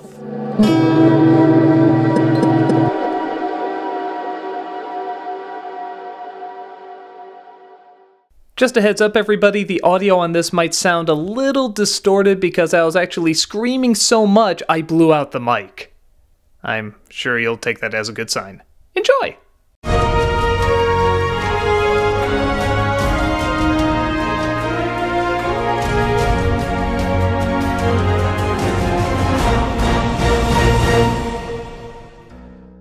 Okay, so I've seen a lot of Disney sequels this year, and I've hated a lot of them, but for some reason, some strange reason, Mulan 2 I hate the most.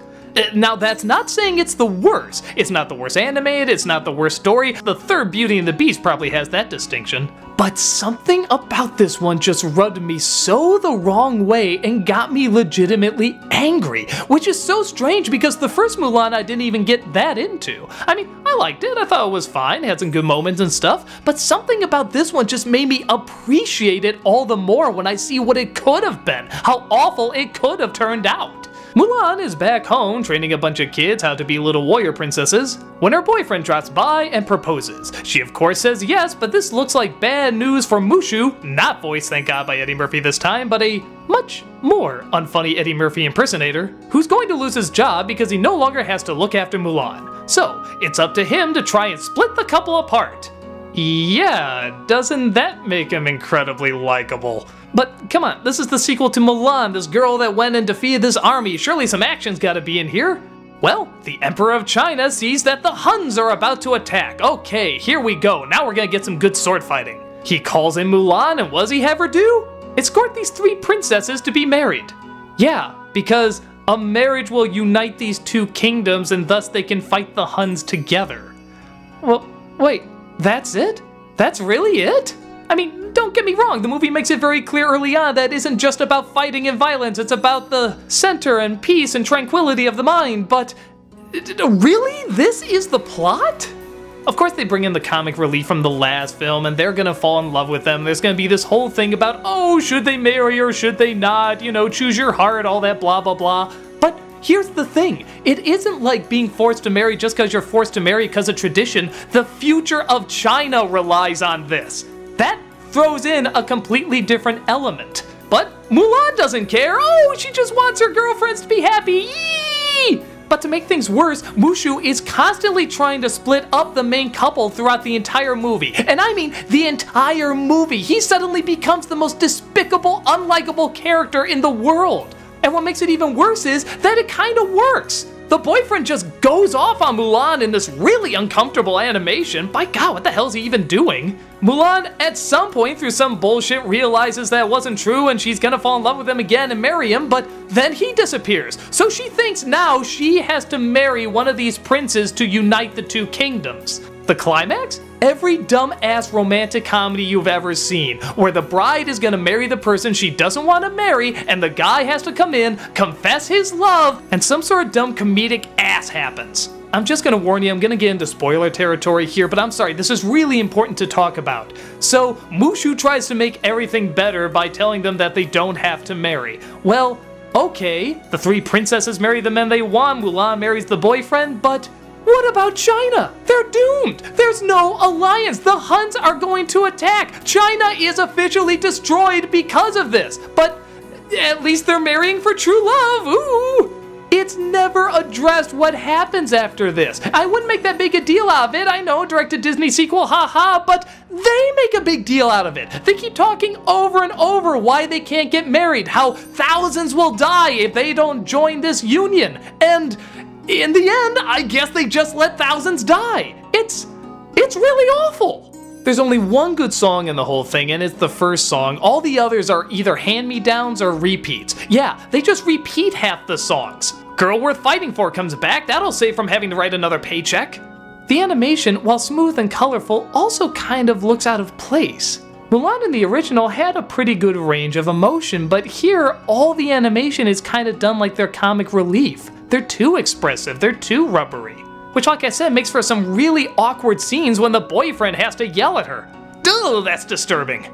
I don't know what it is, because like I said, I didn't get super into the first film, but something about this was just so insulting and so demeaning. The choices were just so bad, and maybe the fact that they did put in this really good animation just made the insult greater. If it had the animation of, say, Tarzan and Jane or one of these TV pilots, I'd forgive it a little bit more. But you know that they put in a lot of effort. Like, yes, this is the script. This is gonna be Mulan 2. This is gonna be what everyone is gonna get behind. I don't know, it just really friggin' irked me. And all the characters are unlikable, and generic, and bland, and not interesting, or stupid, or just mean spirited. I can't believe what an asshole Mushu is! And the boyfriend! And Mulan for letting the entire everything of China die because follow your heart, which is like, oh my god, what is wrong with this movie? It is a mess. It is awful. It just got under my skin. I hated it so much. Like I said, I can't say it's officially the worst. There's definitely been worse Disney sequels, but this one so far, I've hated the most. It sucks. It really sucks. If I ever had a kid and they wanted to see this, I'd say no. I'd just show them the first Mulan again. I don't even know what to say about it. Just skip it. Don't check it out. If you really love the movie Mulan or even just think it's okay like I do, avoid this at all cost. The only thing it did is that made me appreciate the first one a lot more. So I guess I'll give it that. But for everything else, this movie can friggin' blow me.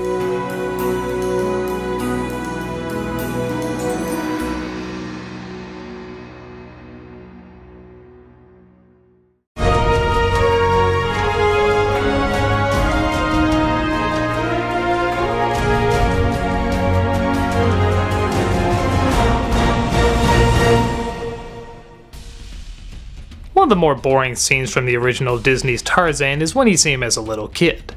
That is to say, it should have been interesting. Seeing a half boy, half ape trying to figure out where he belongs should be downright fascinating.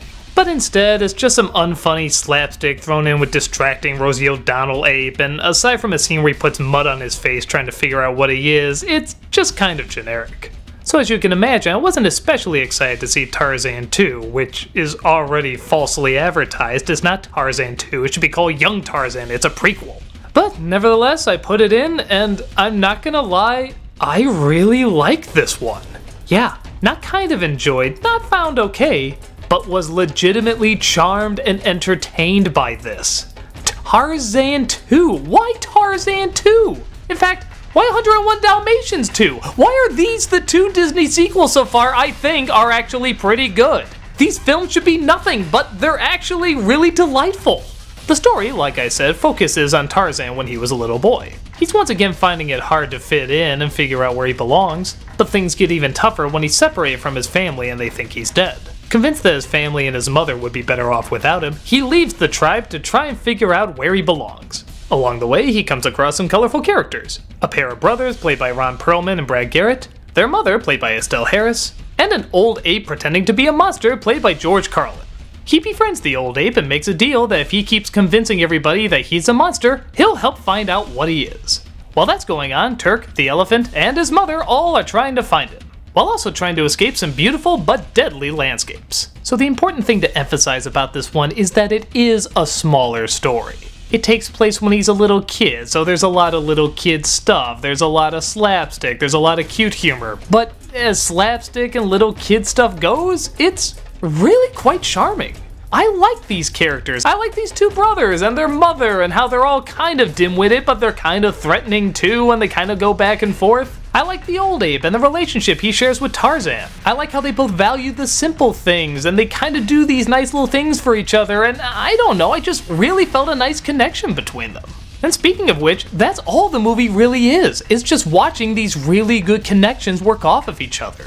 Most of the voice actors are back, except for the kid roles, and that's including Rosie O'Donnell. She doesn't play the younger version of herself, and thank God, because the voice actress they got is a million times better. It sounds like a real kid, and she works off of Tarzan like a real kid. It doesn't feel like a forced celebrity cameo, it feels like there's a real friendship. The turmoil Tarzan has to go through is really well done. This is the kind of stuff I wanted to see in the original movie. Now, don't get me wrong, we do get a little bit of it when he's an adult, but this movie tends to dive more into it. The whole film is about him trying to find his identity. That's his goal. That's the beginning, middle, and end. In the other movie, you got this bad guy who's trying to kill all the gorillas, and you got him just doing some dumb comedic stuff with Rosie O'Donnell, and yeah, I liked it, and it's a bigger story, but it didn't always work. There were a lot of times where it fell short and it felt a little forced. Here, everything kind of flows very naturally. There's no one bad guy, there's no forced musical numbers, there's no awkward comedy. Everything that needs to be done is done perfectly in serving the story. Even the Phil Collins songs, which, yes, there are a few, are scaled down a lot. I'm thinking I'm gonna hear them all throughout this movie and they're gonna piss me off, but there's only a couple. When the movie needs a quiet moment, it has a quiet moment. When Tarzan's mom needs to just sit there missing her son, it lets her sit there and miss her son. You don't need Phil Collins coming out saying, I'm sad! I'm sad! I'm Phil Collins! Okay, I know a lot of you like Phil Collins, but God, I don't. I hate Phil Collins. I'm sorry, if you want the proof, watch this movie. The emotional scenes are so much better without his damn music. I don't necessarily blame him, I blame the fact that they chose to just go to a Phil Collins song instead of letting the story just flow naturally. And for a small, quirky kind of movie, everything does really flow here. I really get that Tarzan is trying to figure out who he is, and that's where the focus is. But that doesn't mean there aren't some funny moments or some quirky characters or something that's really delightful. Now, does that make it better than the first one? Well, first of all, it's amazing I'm asking that at all, but that's a little trickier because the first one is a bigger story. It's supposed to be big and grand and epic, and well, this is him as a kid, and it's supposed to be smaller and cute. But it does it so well that I really wish it was in the first film. And I get it, time constraints, you can't do this, but on the other hand, I have no problem believing that this is part of the story. It's not like in Lion King 1 and a half where you don't really believe Timon and Pumbaa were really there doing that stuff, they just kind of shoehorned it in. It really feels like this was a part of his life growing up. And it's acted well, and it's animated well. The drawings, unlike Mulan 2, felt like they could do the slapstick stuff well and the emotional stuff just as great. In some respects, I would almost rather watch this than the original. Again, I'm not saying it's necessarily better, I'm saying it screws up less than the first one. There's so many times in the first film I remember rolling my eyes like, oh, we're doing this thing. Damn it, we were going so well. Couldn't we do this instead of that? But here, it does everything that it's supposed to do. And even taking this story that, yeah, we've kind of heard a few times before, but the way they tell it, it seems like you're hearing it for the first time.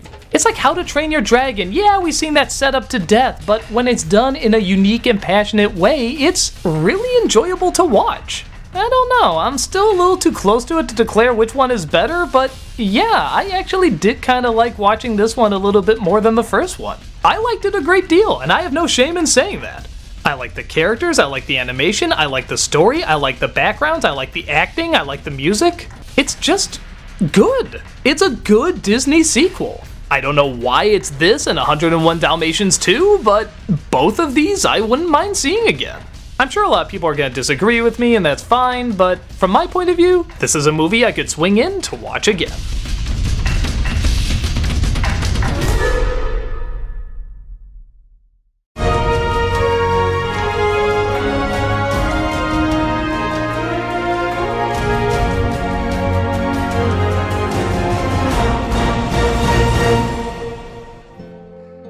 Interesting how we go from a movie called Lilo and Stitch to its sequel Stitch to its other sequel called Lilo and Stitch 2. Though in a way I do kind of understand it, seeing how Stitch was obviously a pilot to a TV series like Tarzan and Jane was a pilot to a TV series, but then they come out with Tarzan 2 and Lilo and Stitch 2, which seem more like actual sequels. It's also interesting that these sequels seem to fall into the slew of smaller stories. They definitely connect to the first one, but they're not as big or grand, and, well, with the exception of Mulan 2, they're surprisingly kind of welcomed. I really enjoyed Tarzan 2, I thought a lot of great effort was put into it, and here, this one's not too bad either. Eh, for the most part, we'll get to the bad stuff too. In this movie, Stitch has a glitch. He starts acting all evil and attacking people and doing all sorts of terrible things. But it comes and goes. Eventually, it's discovered that this came from a glitch that happened years ago, and the Russian alien is trying to figure out how to stop it. While that's going on, Lilo has this big hula competition that she really wants to win, especially seeing how her mother won it years ago. And the rest of the story focuses less on alien encounters and explosions and ray guns, and more on them just trying to figure out what to do for their hula contest and keeping Stitch under control. Like I said, a much smaller movie, but for what it is, it's actually alright. In the first film, I thought the sisters really stole the show, and in the second film, I thought the aliens really stole the show, and here it seems perfectly balanced. Both Lilo and Stitch are a ton of fun to watch. They're just adorable. I love how she's written like a real little kid, and that sort of spreads to Stitch as well. The side characters, though nobody really knew, are a lot of fun to watch as well. Does that make it as good as the first? Well, there are a couple problems. There's one or two awkward moments that just come across as odd. For example, the Russian alien knows that Stitch has a glitch and he's trying to put together this device, but he keeps it a secret for some reason. Why would he do that? Shouldn't everybody know that this thing can explode at any moment and he can attack people and seriously hurt them or even kill them? Why is he keeping it a secret? He's sneaking around trying to get household items to build this device to save him, but why doesn't he just tell people? I'll tell you why, because you have to have a scene where Lilo thinks Stitch is really bad, and Stitch does feel bad, and there's this misunderstanding, and it's stupid. It's so friggin' stupid. There's also minor things like the romance between Nani and the boyfriend is kinda bland once again. I guess they never really got this right. Sometimes there's a read from an actor that clearly needed to be done again. And even the watercolor backgrounds are a little too obvious this time. I don't know, I remember in the first film it was blended a little better, but here it just looks super flat. And I know that's kind of the idea of watercolor, but I don't know, it doesn't blend as well here. Oh, and without giving too much away, there is a huge cop out ending. There's a really emotional moment, the acting is great, the animation is great, but then suddenly it's just retconned, and they never explain why. It's just kind of magic, I guess. Or is it magic? Is it science? I don't know. It just comes out of nowhere and they openly admit they don't know why it happened. Stuff like this that could so easily be fixed is what keeps it from being as good as the original. But still, I'd be lying if I said I didn't enjoy a lot of it, again, as smaller stories go. Most of the same actors are back with the exception of Lilo, who this time is replaced by Dakota Fanning. And by God, she does a great job impersonating her. Not just the voice, but the heart, the comedy, the emotion, she really gets it. I don't know if they switched her out because they wanted a bigger celebrity or if the original actress's voice was changing, but she does a great job. You barely even notice the difference. So even though it's a sequel that doesn't really add much, and yeah, probably doesn't need to exist, I still have a soft spot for Lilo and Stitch, and if you do too, you'll probably enjoy this. Grab your hover ship and check it out.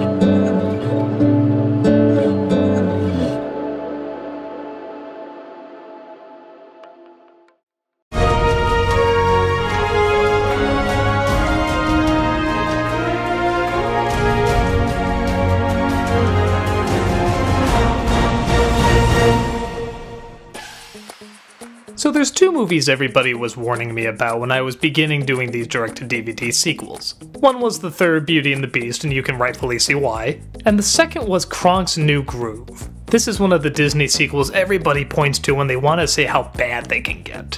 And yeah, it's not good. It's just a bunch of unfunny stories with unfunny jokes.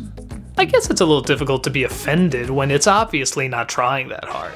I mean, don't get me wrong, there's obviously money thrown into the animation and it moves a lot. But the slapstick is pretty dull, the jokes all fall flat, and I just felt like I watched a whole bunch of nothing. The film centers around the henchman Kronk, played by Patrick Warburton. He's nervous because his disapproving father is coming in to visit, and thus we go into three different stories about what were they again? The evil villain wants him back as a henchman, a romance that blooms with a counselor, and him trying to convince his father that he has everything he's been looking for. All of them are pretty forgettable. I guess on the one hand, I can see why people would be so upset because a lot of people really liked the first movie. I just kind of thought it was okay. But to its credit, it had a lot more laughs than this movie does. In fact, half the movie is just trying to catch in on those laughs again. Remember the devil and angel in the first one? They do that like 20 times in this. Hell, even the little kids get an angel and devil, and half the jokes don't make any sense. The devil makes fun of the angel because he wears a dress. They all wear dresses, it's the time period. Some of these jokes have great build-up but then no payoff. When Kronk is about to be reunited with the villain, there's all these jokes about beware the cat, the cat's gonna get you, and all these other feline jokes. Obviously, they're building up that the villain is still gonna be a cat, which is a funny idea. This little cat bossing him around and trying to do all these evil things, that's funny. But no, all she has is a tail. How is that humorous? That's not fun. How much funnier would it be if this whole story happened while she was a cat? A teeny tiny cat, that'd be a lot more humorous. On top of that, there's a lot of great talent that they got for this movie. Patrick Warburton, Eartha Kitt, Tracey Ullman, John Mahoney, John Goodman. These are all funny voices that belong to funny actors, yet none of them are allowed to be funny. They just kind of show up, say the lines, and say them well, they're just not funny lines to say. There's even a totally pointless cameo from David Spade as the Emperor. He literally just comes in to say he's in the movie, nothing else. And he'll come in, say a few lines, and then just disappear. Hell, the way I'm describing that sounds funnier than how they actually do it. It's just kind of confusing and awkwardly done. The slapstick is also kind of boring. They just kind of bounce around and move in exaggerated ways, but it doesn't feel like there's any focus or control. There's just big movements going on because that's what kids like to watch, right? Right? So, okay, obviously this is not a good movie. Is it god awful? Um, I don't know. I guess it kind of depends. Maybe because I've seen so many bad comedies that really hurt after a joke is told, I don't see this one as offensive. It's kind of like a joke you see on Family Guy or an Adam Sandler movie where when it's told and it's bad, it's really bad. Like, you're put in a bad mood, here, to its credit, the movie seems so determined to get itself over with as quickly as possible that the jokes just kind of fly by. They never linger, there's no awkward pauses, it's just kind of joke, joke, joke, joke, joke, and then the movie's done. It clearly doesn't have that much to say, or what it does have to say, it doesn't try that hard at. So for me, it's just one of those movies that goes in one ear and out the other. Yeah, I wish it could have been better because the villains I thought were the best part of the first movie, but for what it is, it's just bad. Not the worst, not insulting, just bad. If you have little kids that just want to see some cartoons bouncing, I guess it's fine. But if you're a fan of The Emperor's New Groove, or even not a fan, yeah, I recommend just watching a funny Looney Tunes. Dance away from this as fast as you can.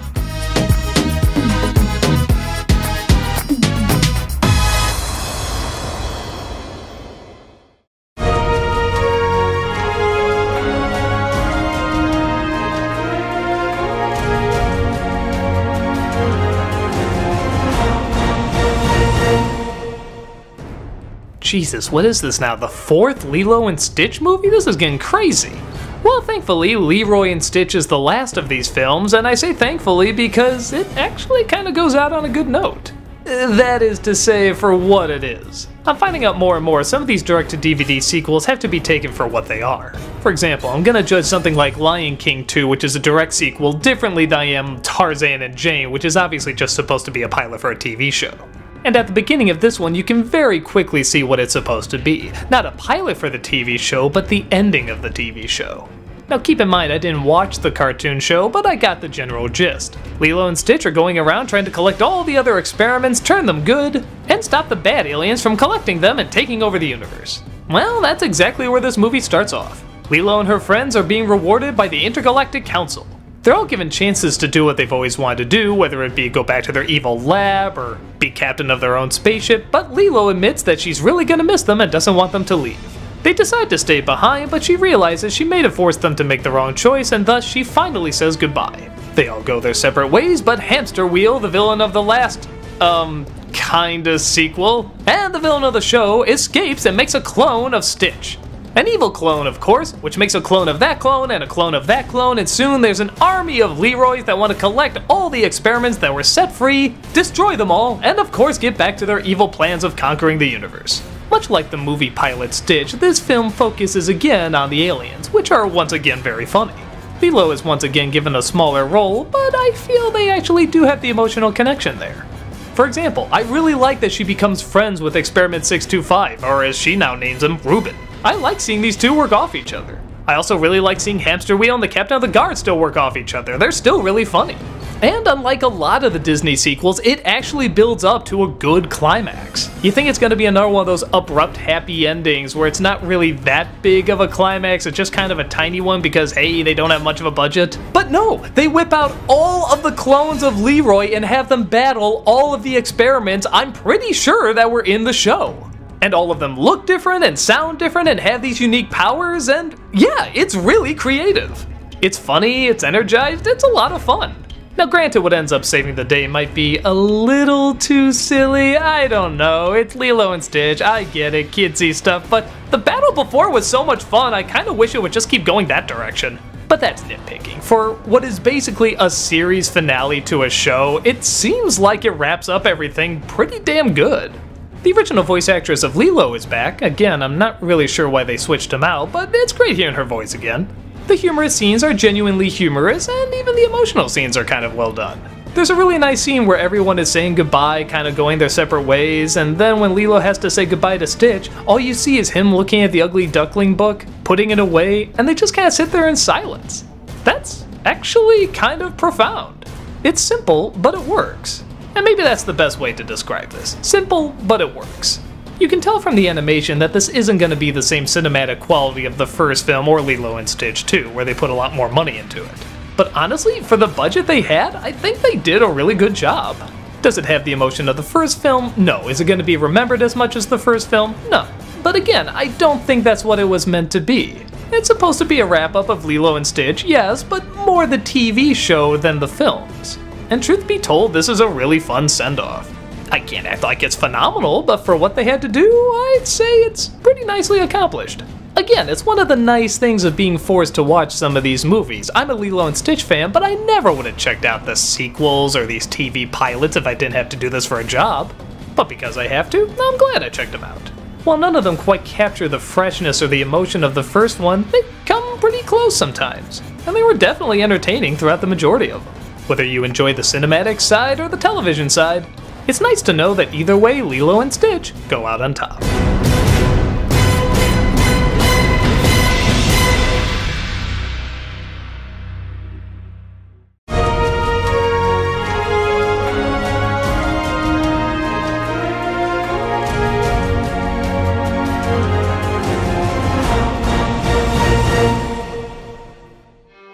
So I'm not gonna lie, the idea of there being a Bambi 2 I surprisingly found interesting.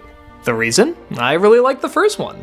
I think it's a unique, important, even groundbreaking film. It's a movie that lets the art tell a lot of the story. It doesn't have to over explain, it doesn't have to create a bad guy, it's just a little slice of life. The sequel had an interesting premise, at least from my point of view. It takes place literally after Bambi loses his mother. Yeah, spoiler alert. I think most of you know that though.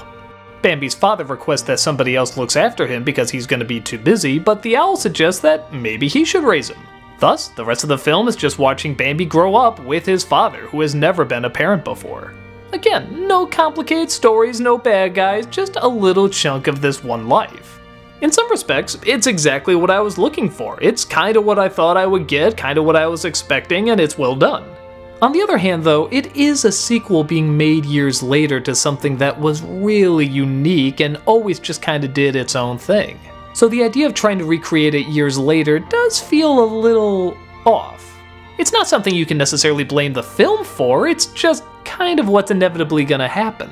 The artistry is really good. This movie does everything in its power to recreate the look of the original Bambi, and the feel, and the pacing. And for the most part, it does a really good job. When it has to look like Calming Winter, it looks like Calming Winters. When those extreme colors have to come in with the heavy shadows that are somehow red and blue and so forth, they bring that back too, and it's really effective.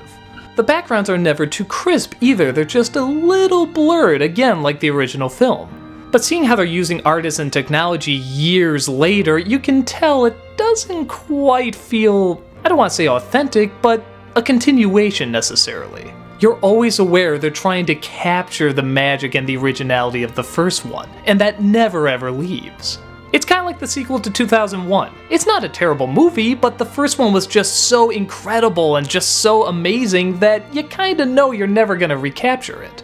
And that lingers over the entirety of the film. But on top of that, there are some other problems too. One is there are songs of the time period thrown in, and they are kind of distracting, which, again, not to act like all the songs in the original Bambi were timeless, but these really do kind of take you out of the environment. Not Tarzan bad or Return to Neverland bad, but still noticeable. The biggest problem, or maybe I should say pet peeve, is the father himself, played by Patrick Stewart. Now, Patrick Stewart is a perfect choice. He sounds just like the original actor, he seems strong and firm, and yeah, this is a really good actor. But I guess the way I always imagined the father was stern and strict and didn't really laugh that much and didn't really show much vulnerability. He was the leader of the force, he couldn't show weakness, he had to be tough all the time. So I figured that would translate over into him being a parent. And while that's what they're clearly trying to do, he does show a little too much vulnerability. He plays it more like the confused parent, the fish out of water, not yuck yuck or anything like that, but clearly he doesn't know what he's doing. And of course, eventually he lets his guard down and he goes play with Bambi and has fun, and then he realizes, oh, he was supposed to be stern and strict, and yeah, it's just kind of that thing. It's not awful, it's just not how I imagined that character. There was so much more mystery and strength to him when he only said one or two things. When he first sees Bambi in the first one, just stares down at him and doesn't say a thing. That is so intimidating. I thought that was the father I was going to get. But instead, we get lines like, a prince doesn't woo hoo. Bambi, a prince does not woo who. A prince walks tall, a prince doesn't show weakness. It's stuff you imagine the mother from Brave saying. In my opinion, it would have worked a lot better if they show Bambi as a child with his father, and the father is strict and stern and doesn't show much humanity, and then you cut to years later when he's older. Then he confronts the father about why he was so stern and strict and the effect it had on him. That seems like a time that Bambi would talk about it, but when he cracks at his father because he thinks he's being too mean and he's trying so hard to be everything he wants, it just kind of feels formulaic. And of course, the father feels hurt but can't show the emotion, but then he has to see something that Bambi does that proves his worth, and you know it. But again, it's not done bad.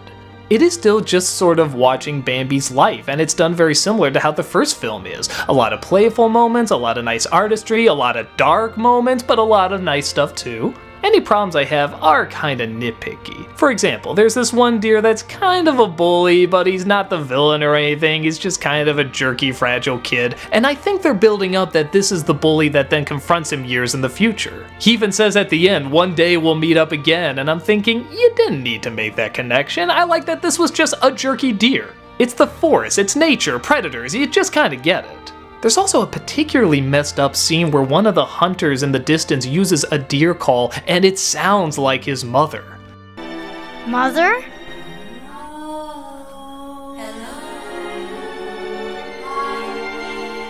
I didn't know whether I really liked this or found it really silly, but it is kinda disturbing and uncomfortable, but in a good way.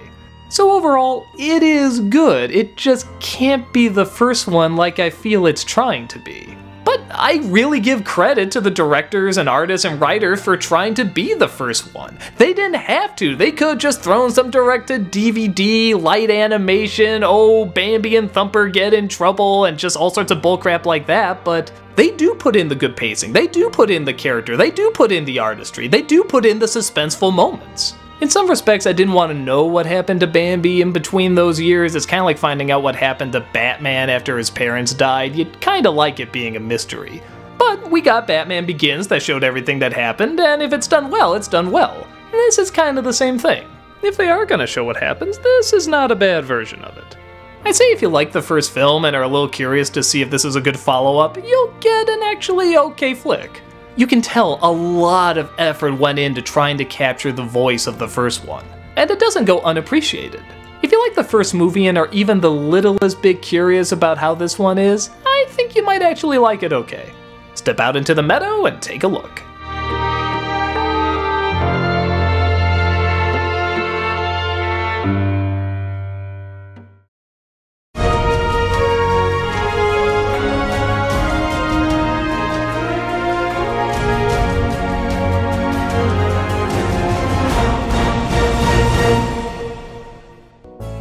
Why was Disney so obsessed with turning people into bears? They did it in Brother Bear, which didn't do so well. They did it in Brother Bear 2, which as far as I know didn't do so well. Even Pixar did in Brave, which also didn't do so well. Did one of the Disney higher-ups just want to be a bear?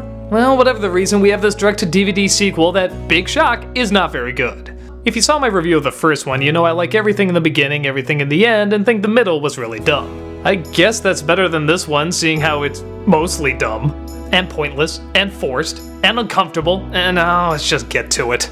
A young woman is about to marry a young man in this arranged marriage. But God literally splits them apart because apparently they weren't meant for each other. Or at least the sassy medicine woman, played by Wanda Sykes, says that long ago she gave her heart to someone else when they were little kids. Well, of course, that little kid was our main character from the last one, who's a bear now. Thus, the sassy magic Wanda Sykes gives her the speech of the bear. Oh, after getting mixed up with some other wacky animals. That ain't it. Haha. so now she can talk with the bear and they have to work together to burn this amulet. Of course, they do nothing but bicker and argue and act like they don't like each other. And where is this going? Surely they're gonna hate each other throughout the whole thing, right? Uh oh, the sassy little cub from the last one, boy, there sure is a lot of sass in these movies, hates the fact that he might be falling in love with her, so he tries to jeopardize the relationship. But uh oh, the two moose also want to fall in love with these two lady moose. Sis, what's the plural? I don't care, it's a dumb movie. Will they be able to show them how to win over the ladies while also acting cool at the same time? Oh, wait a minute. They're not acting cool. They should just learn to be themselves and follow their heart. And all sorts of other cliches you've heard a million times but doesn't add anything new to it. That's all it is. It's just cliches from kids' movies, romantic comedies, bland adventure tales, with nothing charming or fresh thrown on top of it. You're just watching these cliches play out and nothing else. Cliches are fine, we need them once in a while, but if you're not gonna add anything or give a unique spin on it, it's just cliches and nothing else. The world they inhabit doesn't even make sense. Like our bride to be knows that the main character is turned into a bear, yet at the end, the cub goes into the village and they're like, oh no, they'll kill him. Well, why would they kill him? Don't they know that he's a guy that was turned into a bear? And even when he goes in there, they're all trying to hunt him down and kill him. And she's like, no, no, no, but wait, don't they know? And on top of that, there's a bear wedding at the end where there's all these people and all these animals on both sides. And clearly they know. Why were they hunting each other day ago? I'd be like, screw you guys, I'm not going to your wedding. Bunch of a-holes. Alright, so yeah, this movie's pretty stupid, but is there anything good to it? Well, I guess oddly enough, a couple things. One, there's no Phil Collins. Good start. Two, this is probably the best looking out of the Disney sequels I've seen so far. Not only does the animation pretty much look identical to the first film, but the backgrounds are gorgeous. Look at those brushstrokes, look at how thick they are. They stand out, but they also blend together just right, and they really help the characters in the foreground stick out while again also kind of blending together. On top of that, it also kind of feels the most cinematic. It's paced well, and it's acted well, and it's animated well, and it looks great. Really, the biggest problem is just the writing, but yeah, that's a really big problem. It's just characters acting like they know what to do, and then it turns out they don't know what to do, and then they throw in some catchphrases. And look, the moose says A like Canadians do because get it, they're from Canada. It's just generic and dumb and doesn't add up. I guess I can't say it's the worst because we have movies like Mulan 2 and Beauty and the Beast 3 and such. To me, those are much more offensive. This is just stupid and once again not deserving of this great animation and this wonderful background work. I don't know, if you're a fan of the first one, maybe you'll like this one, but it's kind of hard for me to find people that are even fans of the first one. They're just kind of forgotten Disney movies that for some reason they threw a lot of effort into, just not the best writing. Not the worst, but definitely pretty bad.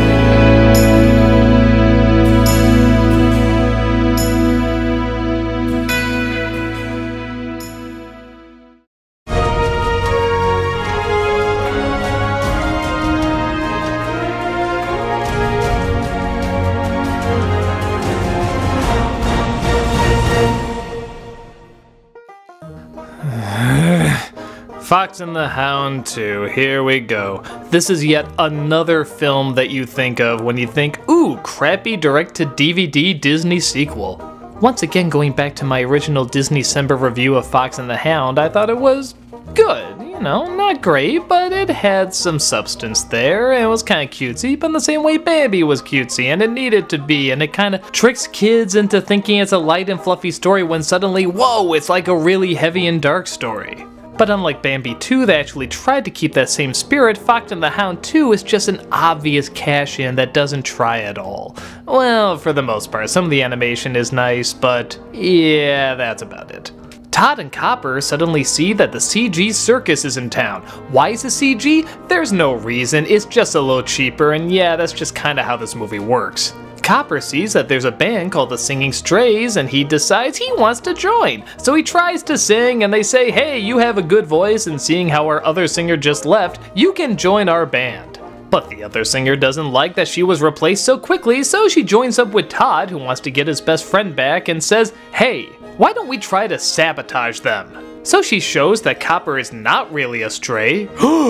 and suddenly everything is thrown AWOL and they'll never be able to sing in the Grand Opry and yeah, what the hell does this have to do with the original? I'm not gonna act like the original was a classic, but by God, it had some weight to it. It was about prejudice, it was about seeing past hatred, it was about trying to care for your fellow man, told through the story with a dog and a fox. Yeah, I know that sounds crazy, but it's because they really tried. They tried to work with the medium they had and the story they had, and they produced something that was actually kinda decent. This is crap. This is nicely animated, actually too well animated, much better than the original, so it's kind of distracting how well animated it is. Crap!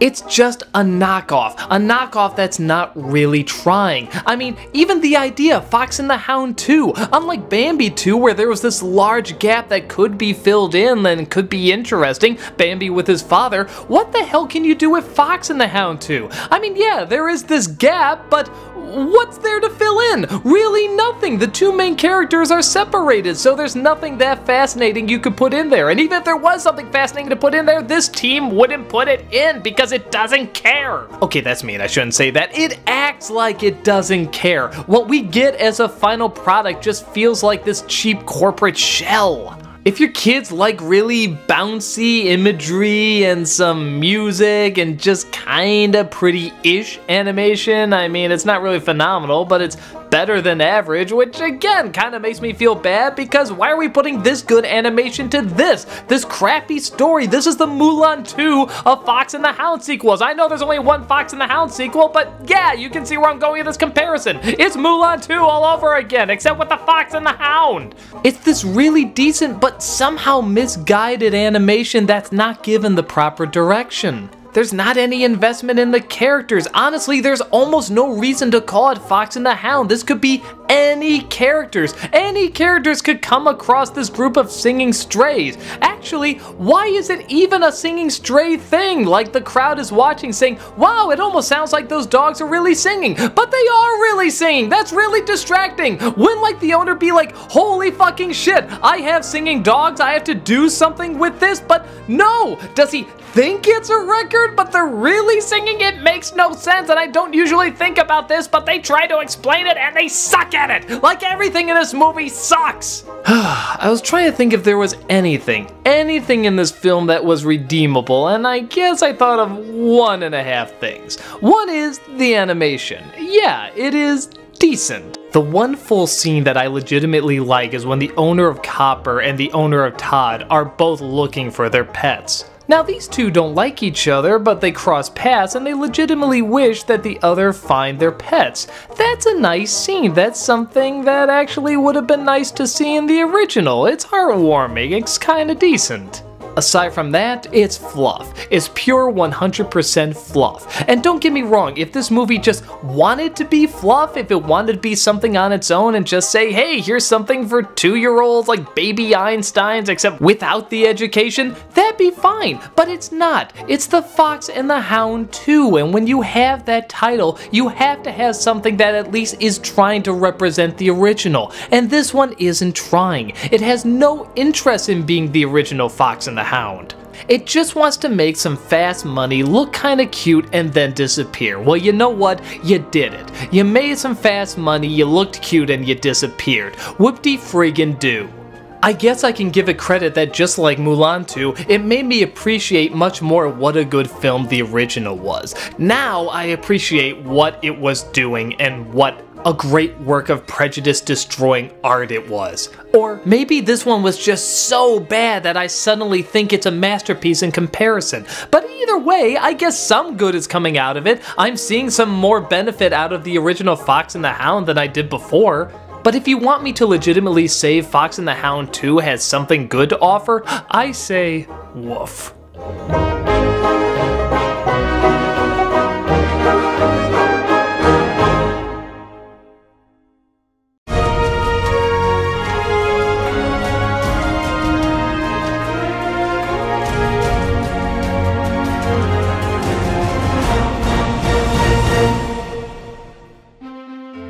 Christmas, everybody! In honor of the occasion, I'm gonna take a little break from the Disney sequels and instead look at something a bit more Christmas oriented, but it's still a direct to DVD movie.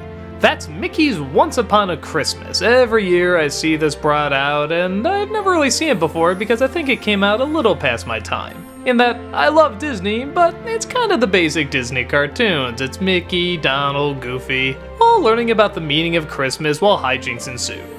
I kind of assumed there wasn't that much adult stuff in it, and yeah, it does seem mainly for kids, but for a Christmas movie aimed mainly at kids, I think it's done pretty good. It's an anthology of stories, each dealing with the holiday. The first one centers around Huey, Dewey, and Louie, and them all wishing that Christmas could be every day. Yeah, you know this tale, and you kinda know what comes of it.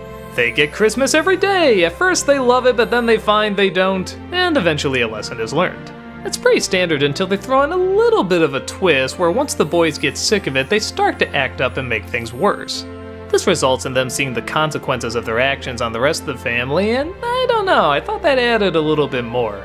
At least from what you usually expect of this story, it's kinda nice, and there's a nice little bit about a Christmas card that you think is the throwaway joke, but it makes a return too, and I don't know, it was actually pretty emotional at the end. I liked it.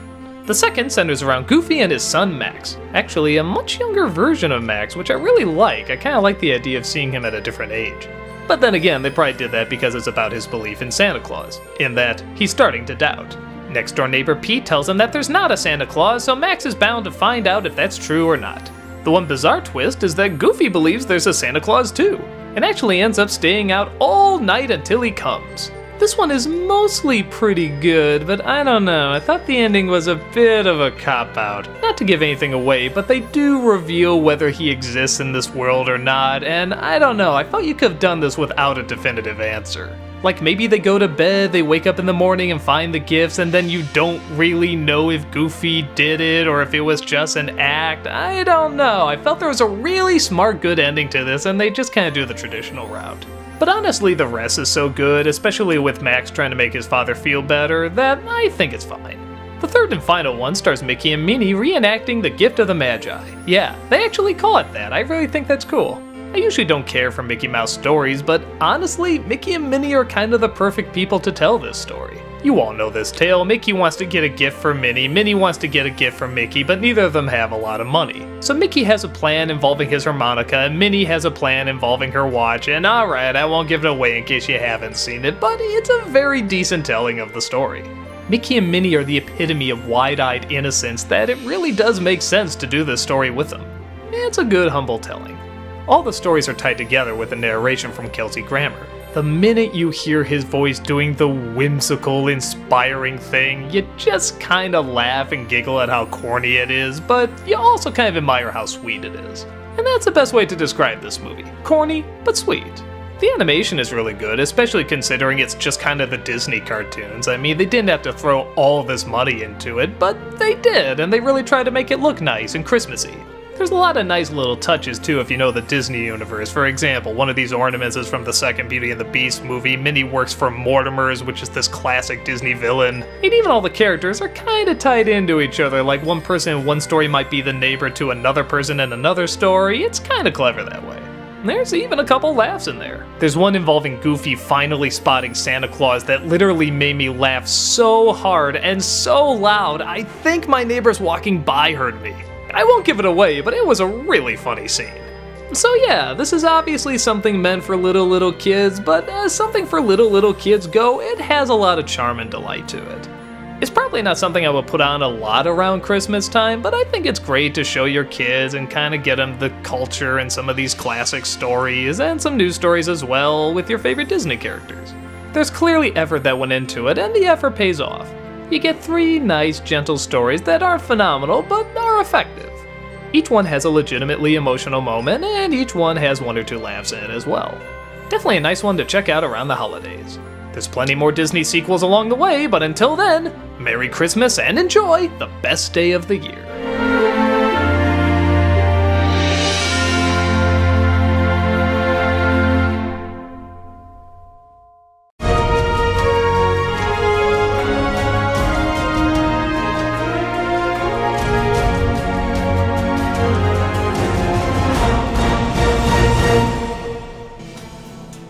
As I get closer to the end of watching all these Disney sequels, I can say that, honestly, the most entertaining out of all of them is Cinderella 3. Yeah, I know, right? The third Cinderella movie? That's ridiculous. Look at this opening. It doesn't even look like it's gonna be anything. It looks like a sequel even worse than the previous sequel. But when I was telling people I was gonna do all these Disney sequels, what I kept hearing over and over is that Cinderella 3 is good. Wait till you get to Cinderella 3, that's a good one. And for the most part, they're kinda right. Are there problems? Yeah, I guess that's sort of to be expected with any of the Disney sequels. Is it my favorite? No, but again, it's, how do I put this, easily the most fun. Like I said before, it opens up kinda corny and chintzy with a goofy little song, not really that impressive, but suddenly the villains return, the stepmother and the stepsisters. They come across the fairy godmother's magic wand, turn her to stone, and start going back in time to make it that the stepsister is the one that has the shoe that fits. Thus, everything is altered, Cinderella is left in the dust, and she doesn't have her happily ever after. The villains are taken to the palace, they hypnotize the prince into thinking that the sister was the one they fell in love with, and it's up to Cinderella to sneak in there and convince him what's really going on without getting caught by the guards or the evil stepmother. On the one hand, this sounds incredibly forced and silly, and yeah, I guess it kind of is, but for such a forced and silly idea, they do everything that they can with it. They realize that the most interesting characters are the villains, and there's a lot of time focused on them. Look at the drawings on them, look at these close ups. They are just so devious and they love every second that they're on screen, and so do we. I remember there's a scene where Cinderella sneaks in as a servant and she has her face covered, and the stepmother is sort of looking at this reflection in the water and she can kind of see her face, and I actually went, oh no! Which is amazing. I actually said, oh no, during a Cinderella film, let alone a sequel. That's insane. But on top of that, they actually give a lot of characters who didn't have much development in the other films a lot more development. The king, for example, is more than just a guy who's bouncing up and down saying, eh, give me grandchildren. They make him this really sentimental guy who lost his wife years ago, and so he's passing on this piece of jewelry to the now daughter in law, and it's actually really sweet. One of the stepsisters is given a lot more development too, and what makes this so clever is that it actually ties into the second film, Cinderella 2. Yeah, that stupid sequel that nobody cared about. They actually have some things that tie into it. Not only is her character given a lot of depth and a story arc, but they even have characters from the second film that were introduced in this one as well. Remember the woman in charge of the servants? Of course you don't, because nobody remembers the second film, but she's in this. What an incredible touch of detail. Even the prince, who had maybe one line of dialogue in the first movie and I don't know, maybe two in the second one, he was clearly just the eye candy, has a lot more character in this. Well, Okay, not a lot more character, but certainly there is a personality there. He's general, nice, and charming, but you do get to know him a little bit more. Enough that you want to see him get with the right person. The animation is fantastic, and what's so great about it is that it doesn't necessarily try to recreate the same animation from the first film. Bambi 2 kind of fell into that trap, and while it wasn't really bad or anything, you're just constantly reminded that this isn't its own thing. This, even though it's a sequel, does feel like its own thing. The imagery gets a lot more creepy and a lot more creative. There's a scene where she throws Cinderella into this giant pumpkin it's all gross and disgusting inside. And these vines just grab this horse and wrap around it and then she turns the cat into this evil servant who's laughing maniacally as he's gonna ride it off a cliff and it's just crazy. It's something that you want to see in a fairy tale sequel. It gets a little darker, it gets a little crazier, and it gets a lot more fun. It's like half Cinderella and half Tim Burton. It's just so enjoyable to view. So, okay, this movie sounds great. Is it great? Well, there are a few little problems that hold it back from being a complete piece. And I don't think it's just nitpicking. The biggest one is Cinderella herself, which is not to say the character is done horribly, I mean they actually animate her very well and the pacing is good and there's even a scene when she finds out that everything's been changed where you don't even see her reaction. You just see her place her hand on the door, and that's kind of all you need. Little moments like that are really, really good. But the problem is, in the story, it's kind of like the Little Mermaid. She doesn't learn anything, she doesn't go through an arc. She just kind of wants to get something, and she gets it. I guess it's just kind of a distracting contrast when you see what these other characters are going through and all the changes that they have going on.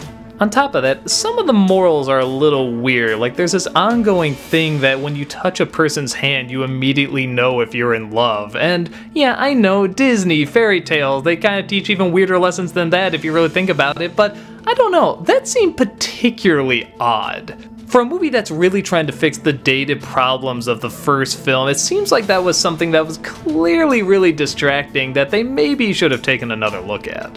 On top of that, this movie has three climaxes. Yeah, there's one where the prince saves her, then there's one where she saves herself, and then there's one where she saves him, and it's just kind of all over the place. But they're all kind of fun too. It's like all this green stuff flying everywhere and this choir going, oh! It's something you can clearly tell the animators and the writers and the directors were having fun doing, and we feel that fun. The hard work and effort is clearly there in a project where it didn't need to be there. They went 110% on something that clearly was just meant to be thrown out really fast, but they really tried, and you can tell they really tried. But yeah, those problems I mentioned before are still legitimate problems. They do kind of focus a little too much on the side characters, and yeah, I know the first film you could argue that too, but the center was still around her need, her want, her going through this endurance to get what was needed. Working hard and finally getting that reward. Here, I guess it's just kind of the same thing, working hard and getting that reward, but we already saw that, so why is that interesting? But in my opinion, the rest is so much fun and so crazy and so enjoyable that I can kinda overlook it, and I think a lot of other people overlook it too. All I can say is what everyone's been saying about it is strangely right. It is really entertaining and I highly recommend it. I can't say it's perfect, I can't say it's a Disney classic or anything, but it's just a ton of surreal joy. I like how they took something that was pretty pointless and even kind of a dumb idea and turned it into something that was just kind of cool and focused on the elements that were the most enjoyable from the first film. If you want a Disney sequel that doesn't need to exist but is still really, really neat, Cinderella 3 is bizarrely enough the one to check out.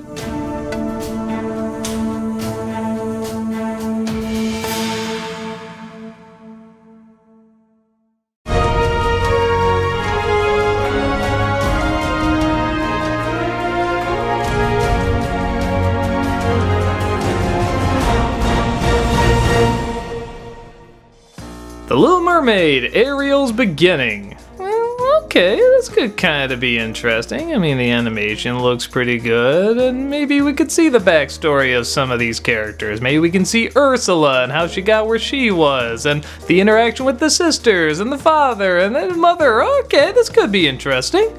It starts off showing Ariel and her sisters with her mother and father, and suddenly this pirate ship comes out of nowhere, okay, and apparently kills the mother in a very awkwardly done edit.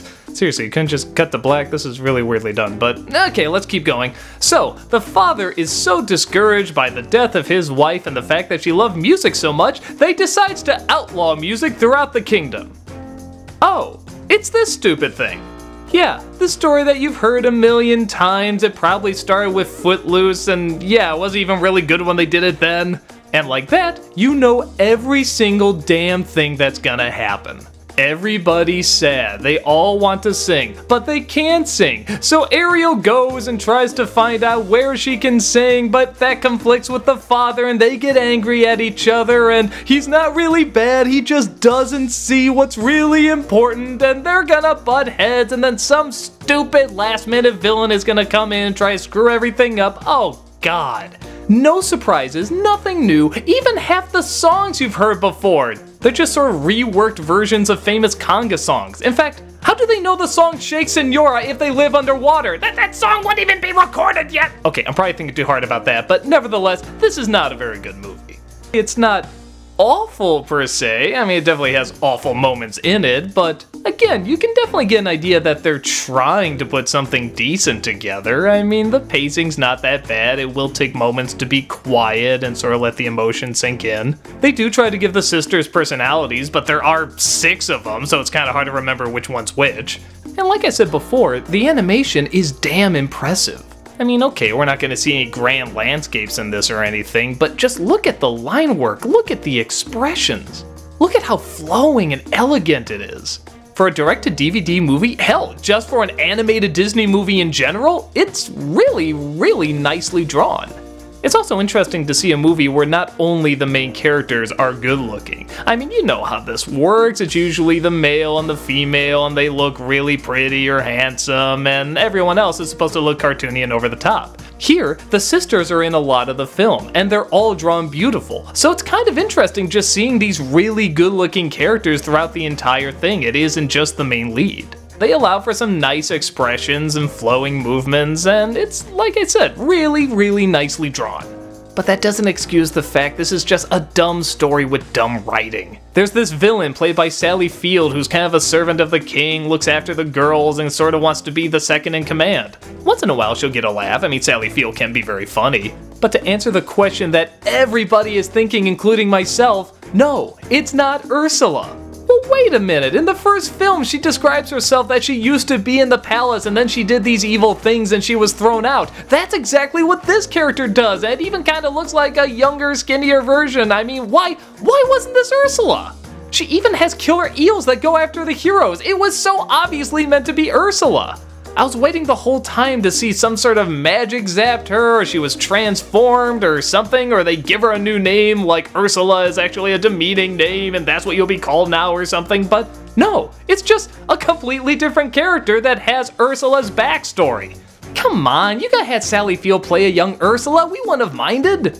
So yeah, the movie's pretty stupid and makes no sense. I guess if you just have little kids that want to see it just to see nice music and Ariel swimming around looking pretty, it's fine for that.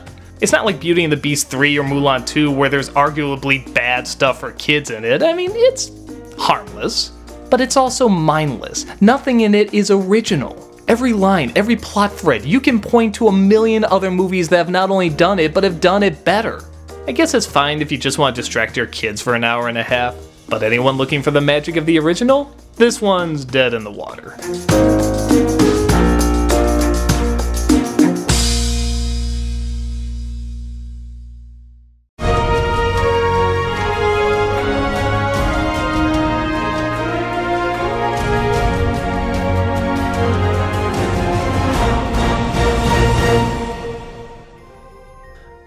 I looked at the first one, only figures to look at the sequel during this sequel month. It's Mickey's Twice Upon a Christmas, and you know, when people ask what's the difference between something that's good for kids yet not necessarily for adults, or bad for kids and not necessarily for adults either, this is a perfect example.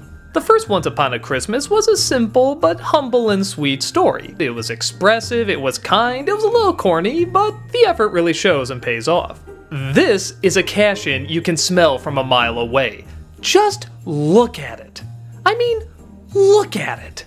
I know it's direct to DVD, so the CGI isn't gonna be like Pixar quality, but look at it. The first one was direct to DVD too, and you can see all the great drawings, all the great atmosphere, expressions. It was impressive by its own standards. This, even by its own standards, is cheap looking and lame and not written well and heartless and empty and just, like I said, an obvious cash in. Okay, well, I guess I should go over all the stories, but that almost seems pointless because where in the first film it was only three stories that seemed reasonable enough, this one it's like eight. Yeah, they just throw a bunch of them at you, whether they make sense or not. It becomes so much overload that the motivations aren't even established when the stories start. The very first story is just Daisy and Minnie skating. Well, okay, that's fine. But for whatever reason, Daisy tries to sabotage Minnie. Was that in her character? Is that something she's known for? I can see Donald doing that, but nothing about her has ever been established as this egotistical, jealous character. And then Minnie gets really angry too, and she starts fighting back, and it's just this entirely pointless number. There's another kind of mean spirited story where Donald comes home from work, he's really tired, he just wants to relax, but then Daisy and the boys all want to go Christmas shopping and they force him to come with. He gets angry because Christmas is being shoved in his face and he just needs a break from it. But he shouldn't be. He's wrong. Much like Christmas with the Cranks, you should just accept everything about Christmas and love it all unconditionally. Seems like a very confused message. On the one hand, I can kinda see what they're going for, like you're just gonna need that extra effort to make Christmas special for your kids and your loved ones and stuff.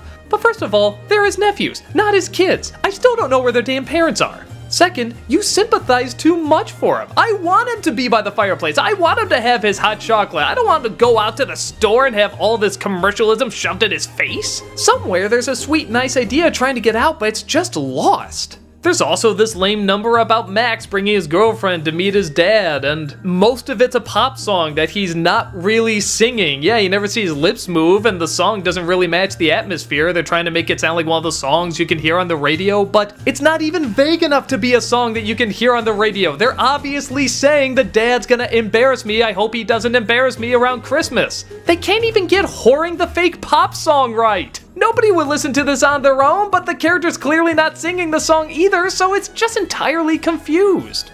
Remember how Santa Claus was a big deal in the first one? Like Goofy and Max were trying to believe, but they didn't know if they did, but they wanted to believe. That was a whole big thing. In this one, Huey, Dewey, and Louie just mail themselves to Santa. Yeah, I guess he's not really that big a deal anymore.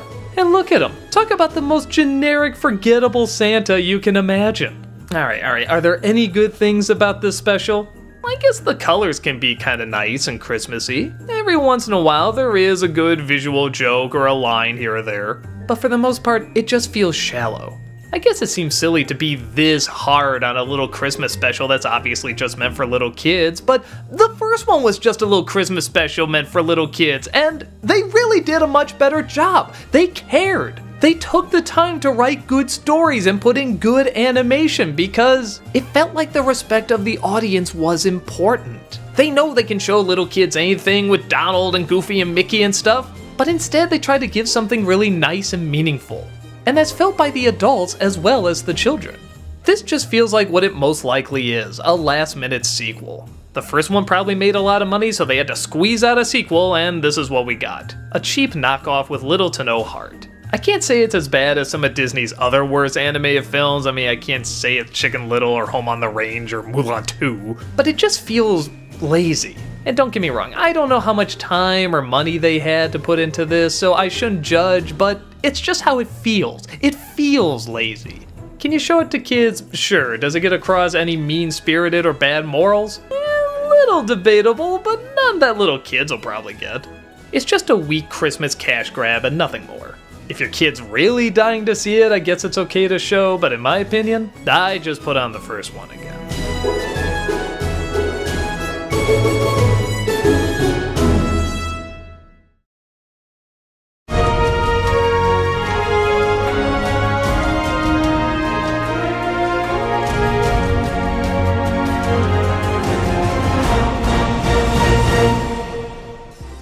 Well, I've already reviewed a ton of direct to DVD sequels, why not review this one? Inspector Gadget 2. Yeah, kind of an Inspector Gadget filled month, isn't it? This is a follow up to the first film starring Matthew Broderick, and though it's not nearly as bad, hell, you just subtract Matthew Broderick from it, it's immediately better. It's still pretty bad. This time, Inspector Gadget is played by French Stewart of Third Rock from the Sun fame. At first, you think it's going to be exactly like the first one, with its awkward style and weird in your face effects that really, really suck even more this time. But as it goes on, it calms down a bit as it tries to squeeze a story in. Inspector Gadget is having a bunch of glitches, and his niece Penny, now in high school, is starting to notice and tells him to go get it fixed. His inventor, however, has an even better plan make a brand new gadget. Enter G2, an updated version of Gadget, who seems to be a better officer in every way, not only having no glitches, but no human parts at all. That's right, she's 100% machine. And as soon as Inspector Gadget hears that, he falls immediately in love. Yeah, that's kind of weird slash creepy. She does the typical robot stuff, doesn't understand human emotion, talks like this all the time, that whole jazz. But give her credit, it's a lot more interesting than Dr. Claw escaping. Only this time it's not played by Rupert Everett, and this time you don't see his face. Well, okay, sorta. You see his mouth and his nose, sometimes you see his eyes. Actually, you kinda do see his face, but they at least make an attempt to hide it. This time it's played by some old guy with a really weird voice that sounds nothing like the original Claw, but he has the claw from the first movie, but you don't see his face like the cartoon. It's really kinda confusing. But at least we see Penny snooping around with her dog Brain, and she has the little watch. Uh, no computer book, but she has the watch, and they give her a kinda bigger part. Then it's weird because she'll tell Brain to look after Gadget, but you know, he's a dog, like a real dog, so he can't do anything like what he does in the cartoon. And wh- what is this movie trying to be? The sad, desperate souls that actually like the first film aren't gonna connect that much with it. Like I said, Gadget's different, Penny's different, Dr. Claw is really different. And the fans of the cartoon are gonna like a few things changed, but it's still clearly not trying hard enough to be the cartoon. It's almost like the filmmakers got all these really angry notes and they said, oh, okay, we're not supposed to see Claw's face, Penny's supposed to snoop around, Brain's supposed to help. Okay, we'll do that. But then for some reason, they still never looked at the cartoon. They didn't see how you're supposed to do it. And don't get me wrong, the cartoon's weird. I think it's kind of debatable whether or not it's actually even good, but it was kind of entertaining and interesting and had kind of its own unique formula and its own kind of awkward charm. This doesn't. While French Stewart is definitely a better gadget than Matthew Broderick, he still doesn't seem like he's being told the right things to do. That is to say, comedically, his line delivery just seems off. It doesn't sound like he's trying to impersonate Don Adams or do his own thing, it's just kind of weird. All my years of crime fighting Gadgetmobile is that it's always the most quiet. Right before the criminals strike. On top of that, a lot of the comedy is off. Every once in a while I get a little bit of a giggle, like I like how the bad guys are sneaking in as this band and none of the instruments they're playing matches the music that's being played behind them on an obvious recording. In fact, it's sitar music and there's not even a sitar in there. That's funny. Once in a while you'll get a little moment like that. The effects are really awful. At the very least, in the first film, they tried to mix some practical effects with the CG. Here, it's all CG, and it's we don't give a crap CG. Look at this scene where this rope is supposed to wrap around Gadget. What the hell am I even looking at? It looks like one of those old Marvel hologram cards. It doesn't even look solid. The acting, pretty much from everybody, either ranges from bad to just off. I don't know what direction they were given, but it was always kind of the wrong direction. Everyone says their lines just a little strangely, and that's already made odd by the fact that they already have strange voices. The only time the acting does work a little bit is when French Stewart has to have an emotional moment. I know that sounds strange, and there aren't that many of them, but when he genuinely seems confused or sad or upset, it's done in such a brainless way that he still kinda seems sympathetic. I can't explain it, there's something weirdly genuine about it. Aside from that, I don't know what this film is going for. It'll have the little mad logo like from the cartoon, but even that looks a little different. Why? You have the rights to Inspector Gadget, just go all out there. So, okay, is it as bad as the first one? No. There's very few things that are as bad as the first one. The first one was painful. The first one, every single time a joke was made or somebody gave a weird look, it hurt. The first film hurt. This film doesn't hurt, it's just dumb. It's a dumb movie. It'll probably be forgotten the minute you watch it. The first film leaves scars, scars that will never heal. This is just a lame flick. So if for some reason your kid wants to see it, you can go ahead and show it, there's nothing that's gonna screw them up. But for anyone else, if you have any interest in seeing this movie, go go gadget don't.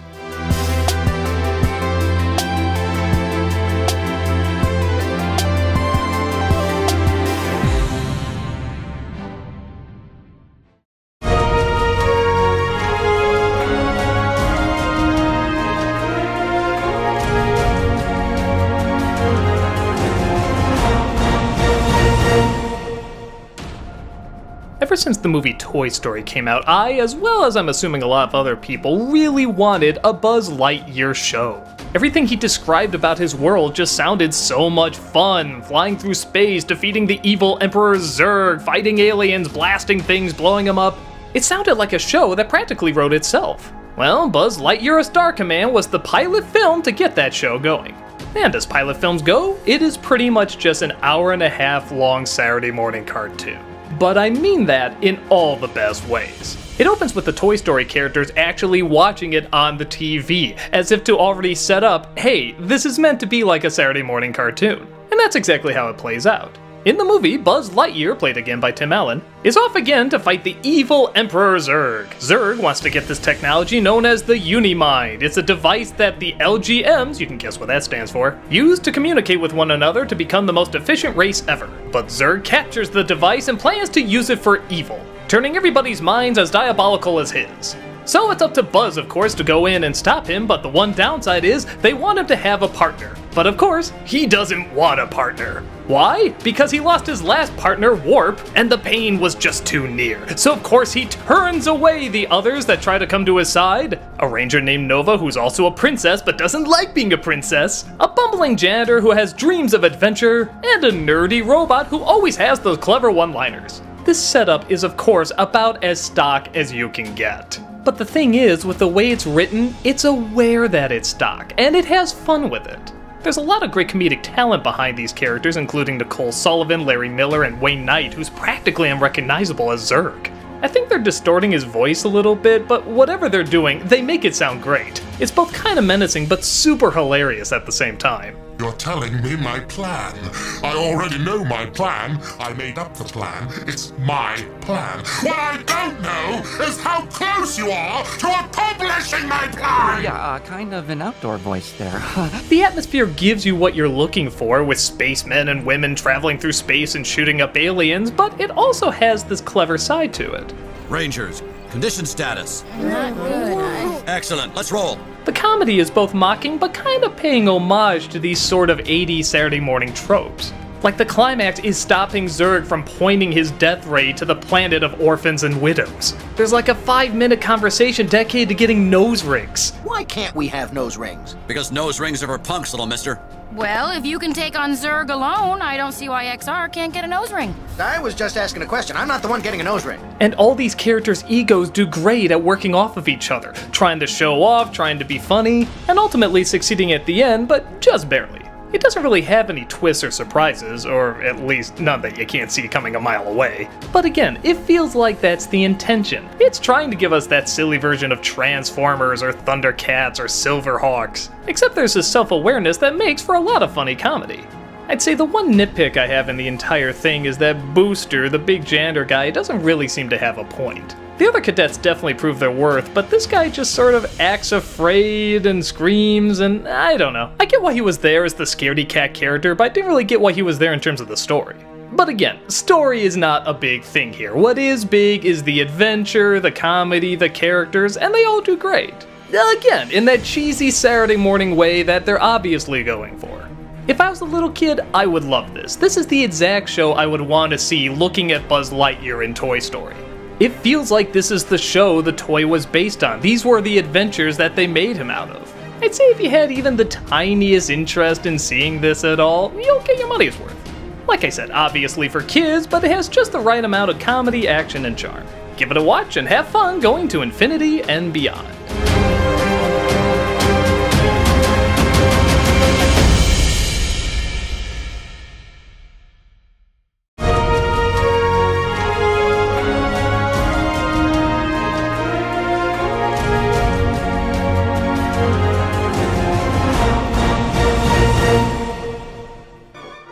Mickey Mouse and the Three Musketeers. That is pretty much exactly what you get. Mickey, Donald, and Goofy all going off to save Princess Minnie so that evil Captain Pete can't take over the crown. Yeah, somehow kidnapping her makes him king. This isn't really story based.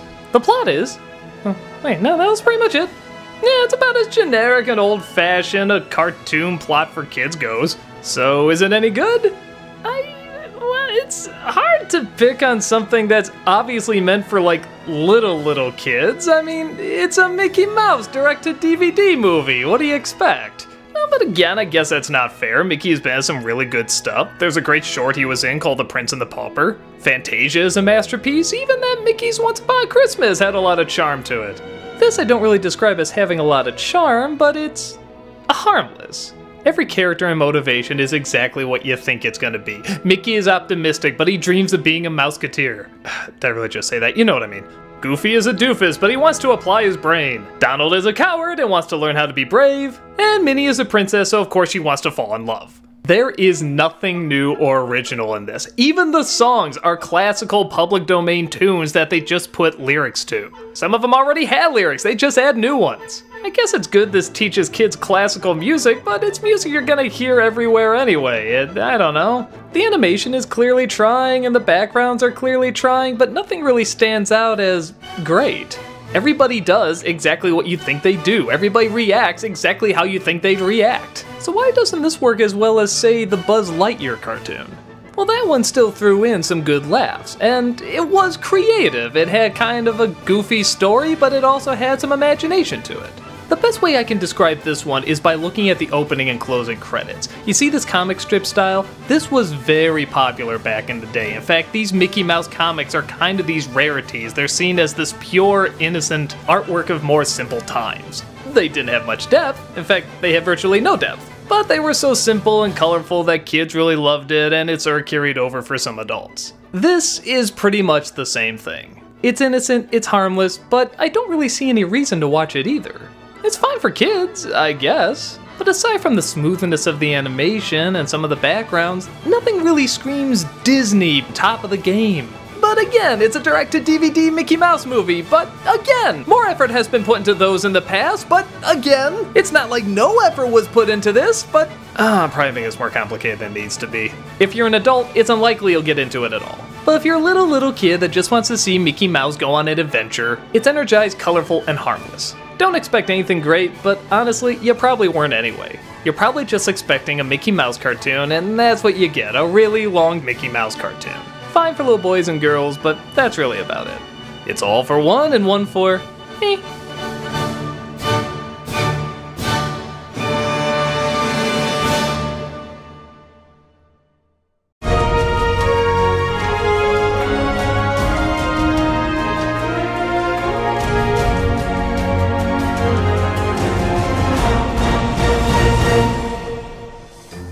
Let's finish up Disneycember with Tinkerbell. Yeah, there's a strange while where Tinkerbell was extremely popular. It's weird because the character has been around for years and years, but only now did the popularity just explode. Was this movie the cause of it? Maybe.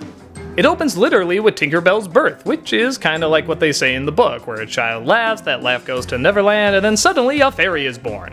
Only she's not born like a little baby, she's born fully grown. I guess it's like Pinocchio, where the personality is just intact. Oh, why am I analyzing it? It's fairy tales, and this is obviously made for little kids who just want to see Tinkerbell fly around, look pretty, do some magic, and yeah, that's about it.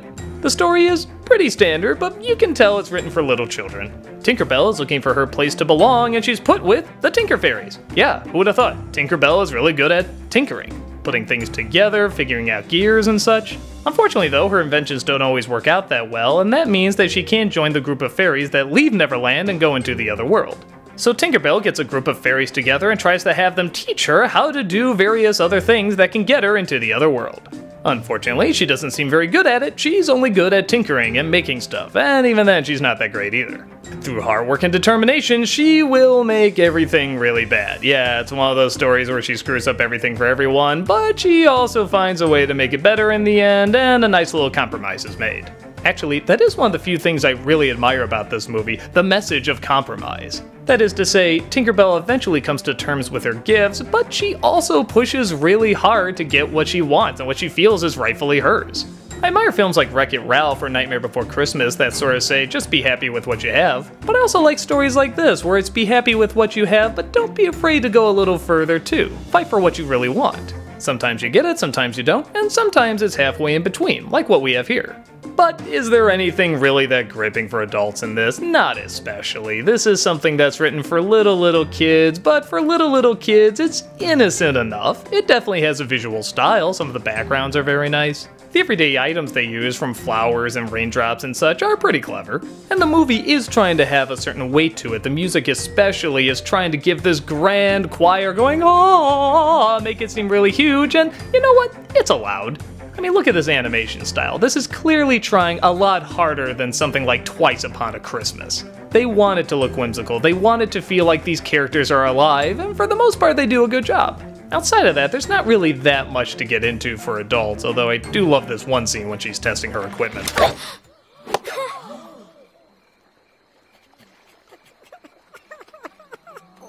Why does that crack me up so much?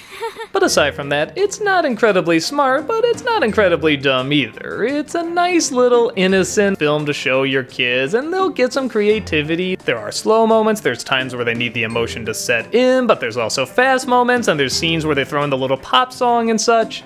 I'm definitely not to put it on anytime soon, but if I had little kids and they wanted to watch this, I'd say it's a good thing to put on.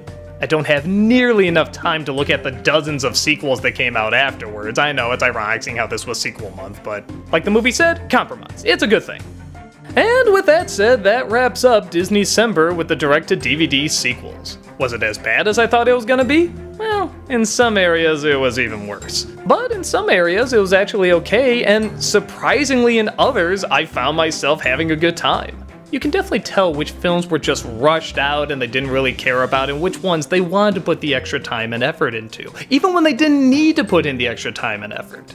I'm not gonna act like any of these were great, but I was shocked to find those couple that were actually, well, not only tolerable, but some legitimately entertaining. They were few, but I respected them. And the ones that were bad, like really bad, well, they'll bring us a lot of laughs and mockery and just how awful they are. At least I can say I saw them all and I gave them a fair shot, and though I was shocked with how bad some of them were, I was shocked by how good some of them were. I guess sometimes even when a company like Disney just wants to throw their table scraps at us, you can actually take those table scraps and turn it into a good meal. It doesn't happen all the time, but enough times to get noticed. Folks, I hope you enjoyed this year's Disneycember, and if you're like me, you're anticipating what Disney has next to offer. Thanks for watching, and I'll see you next year.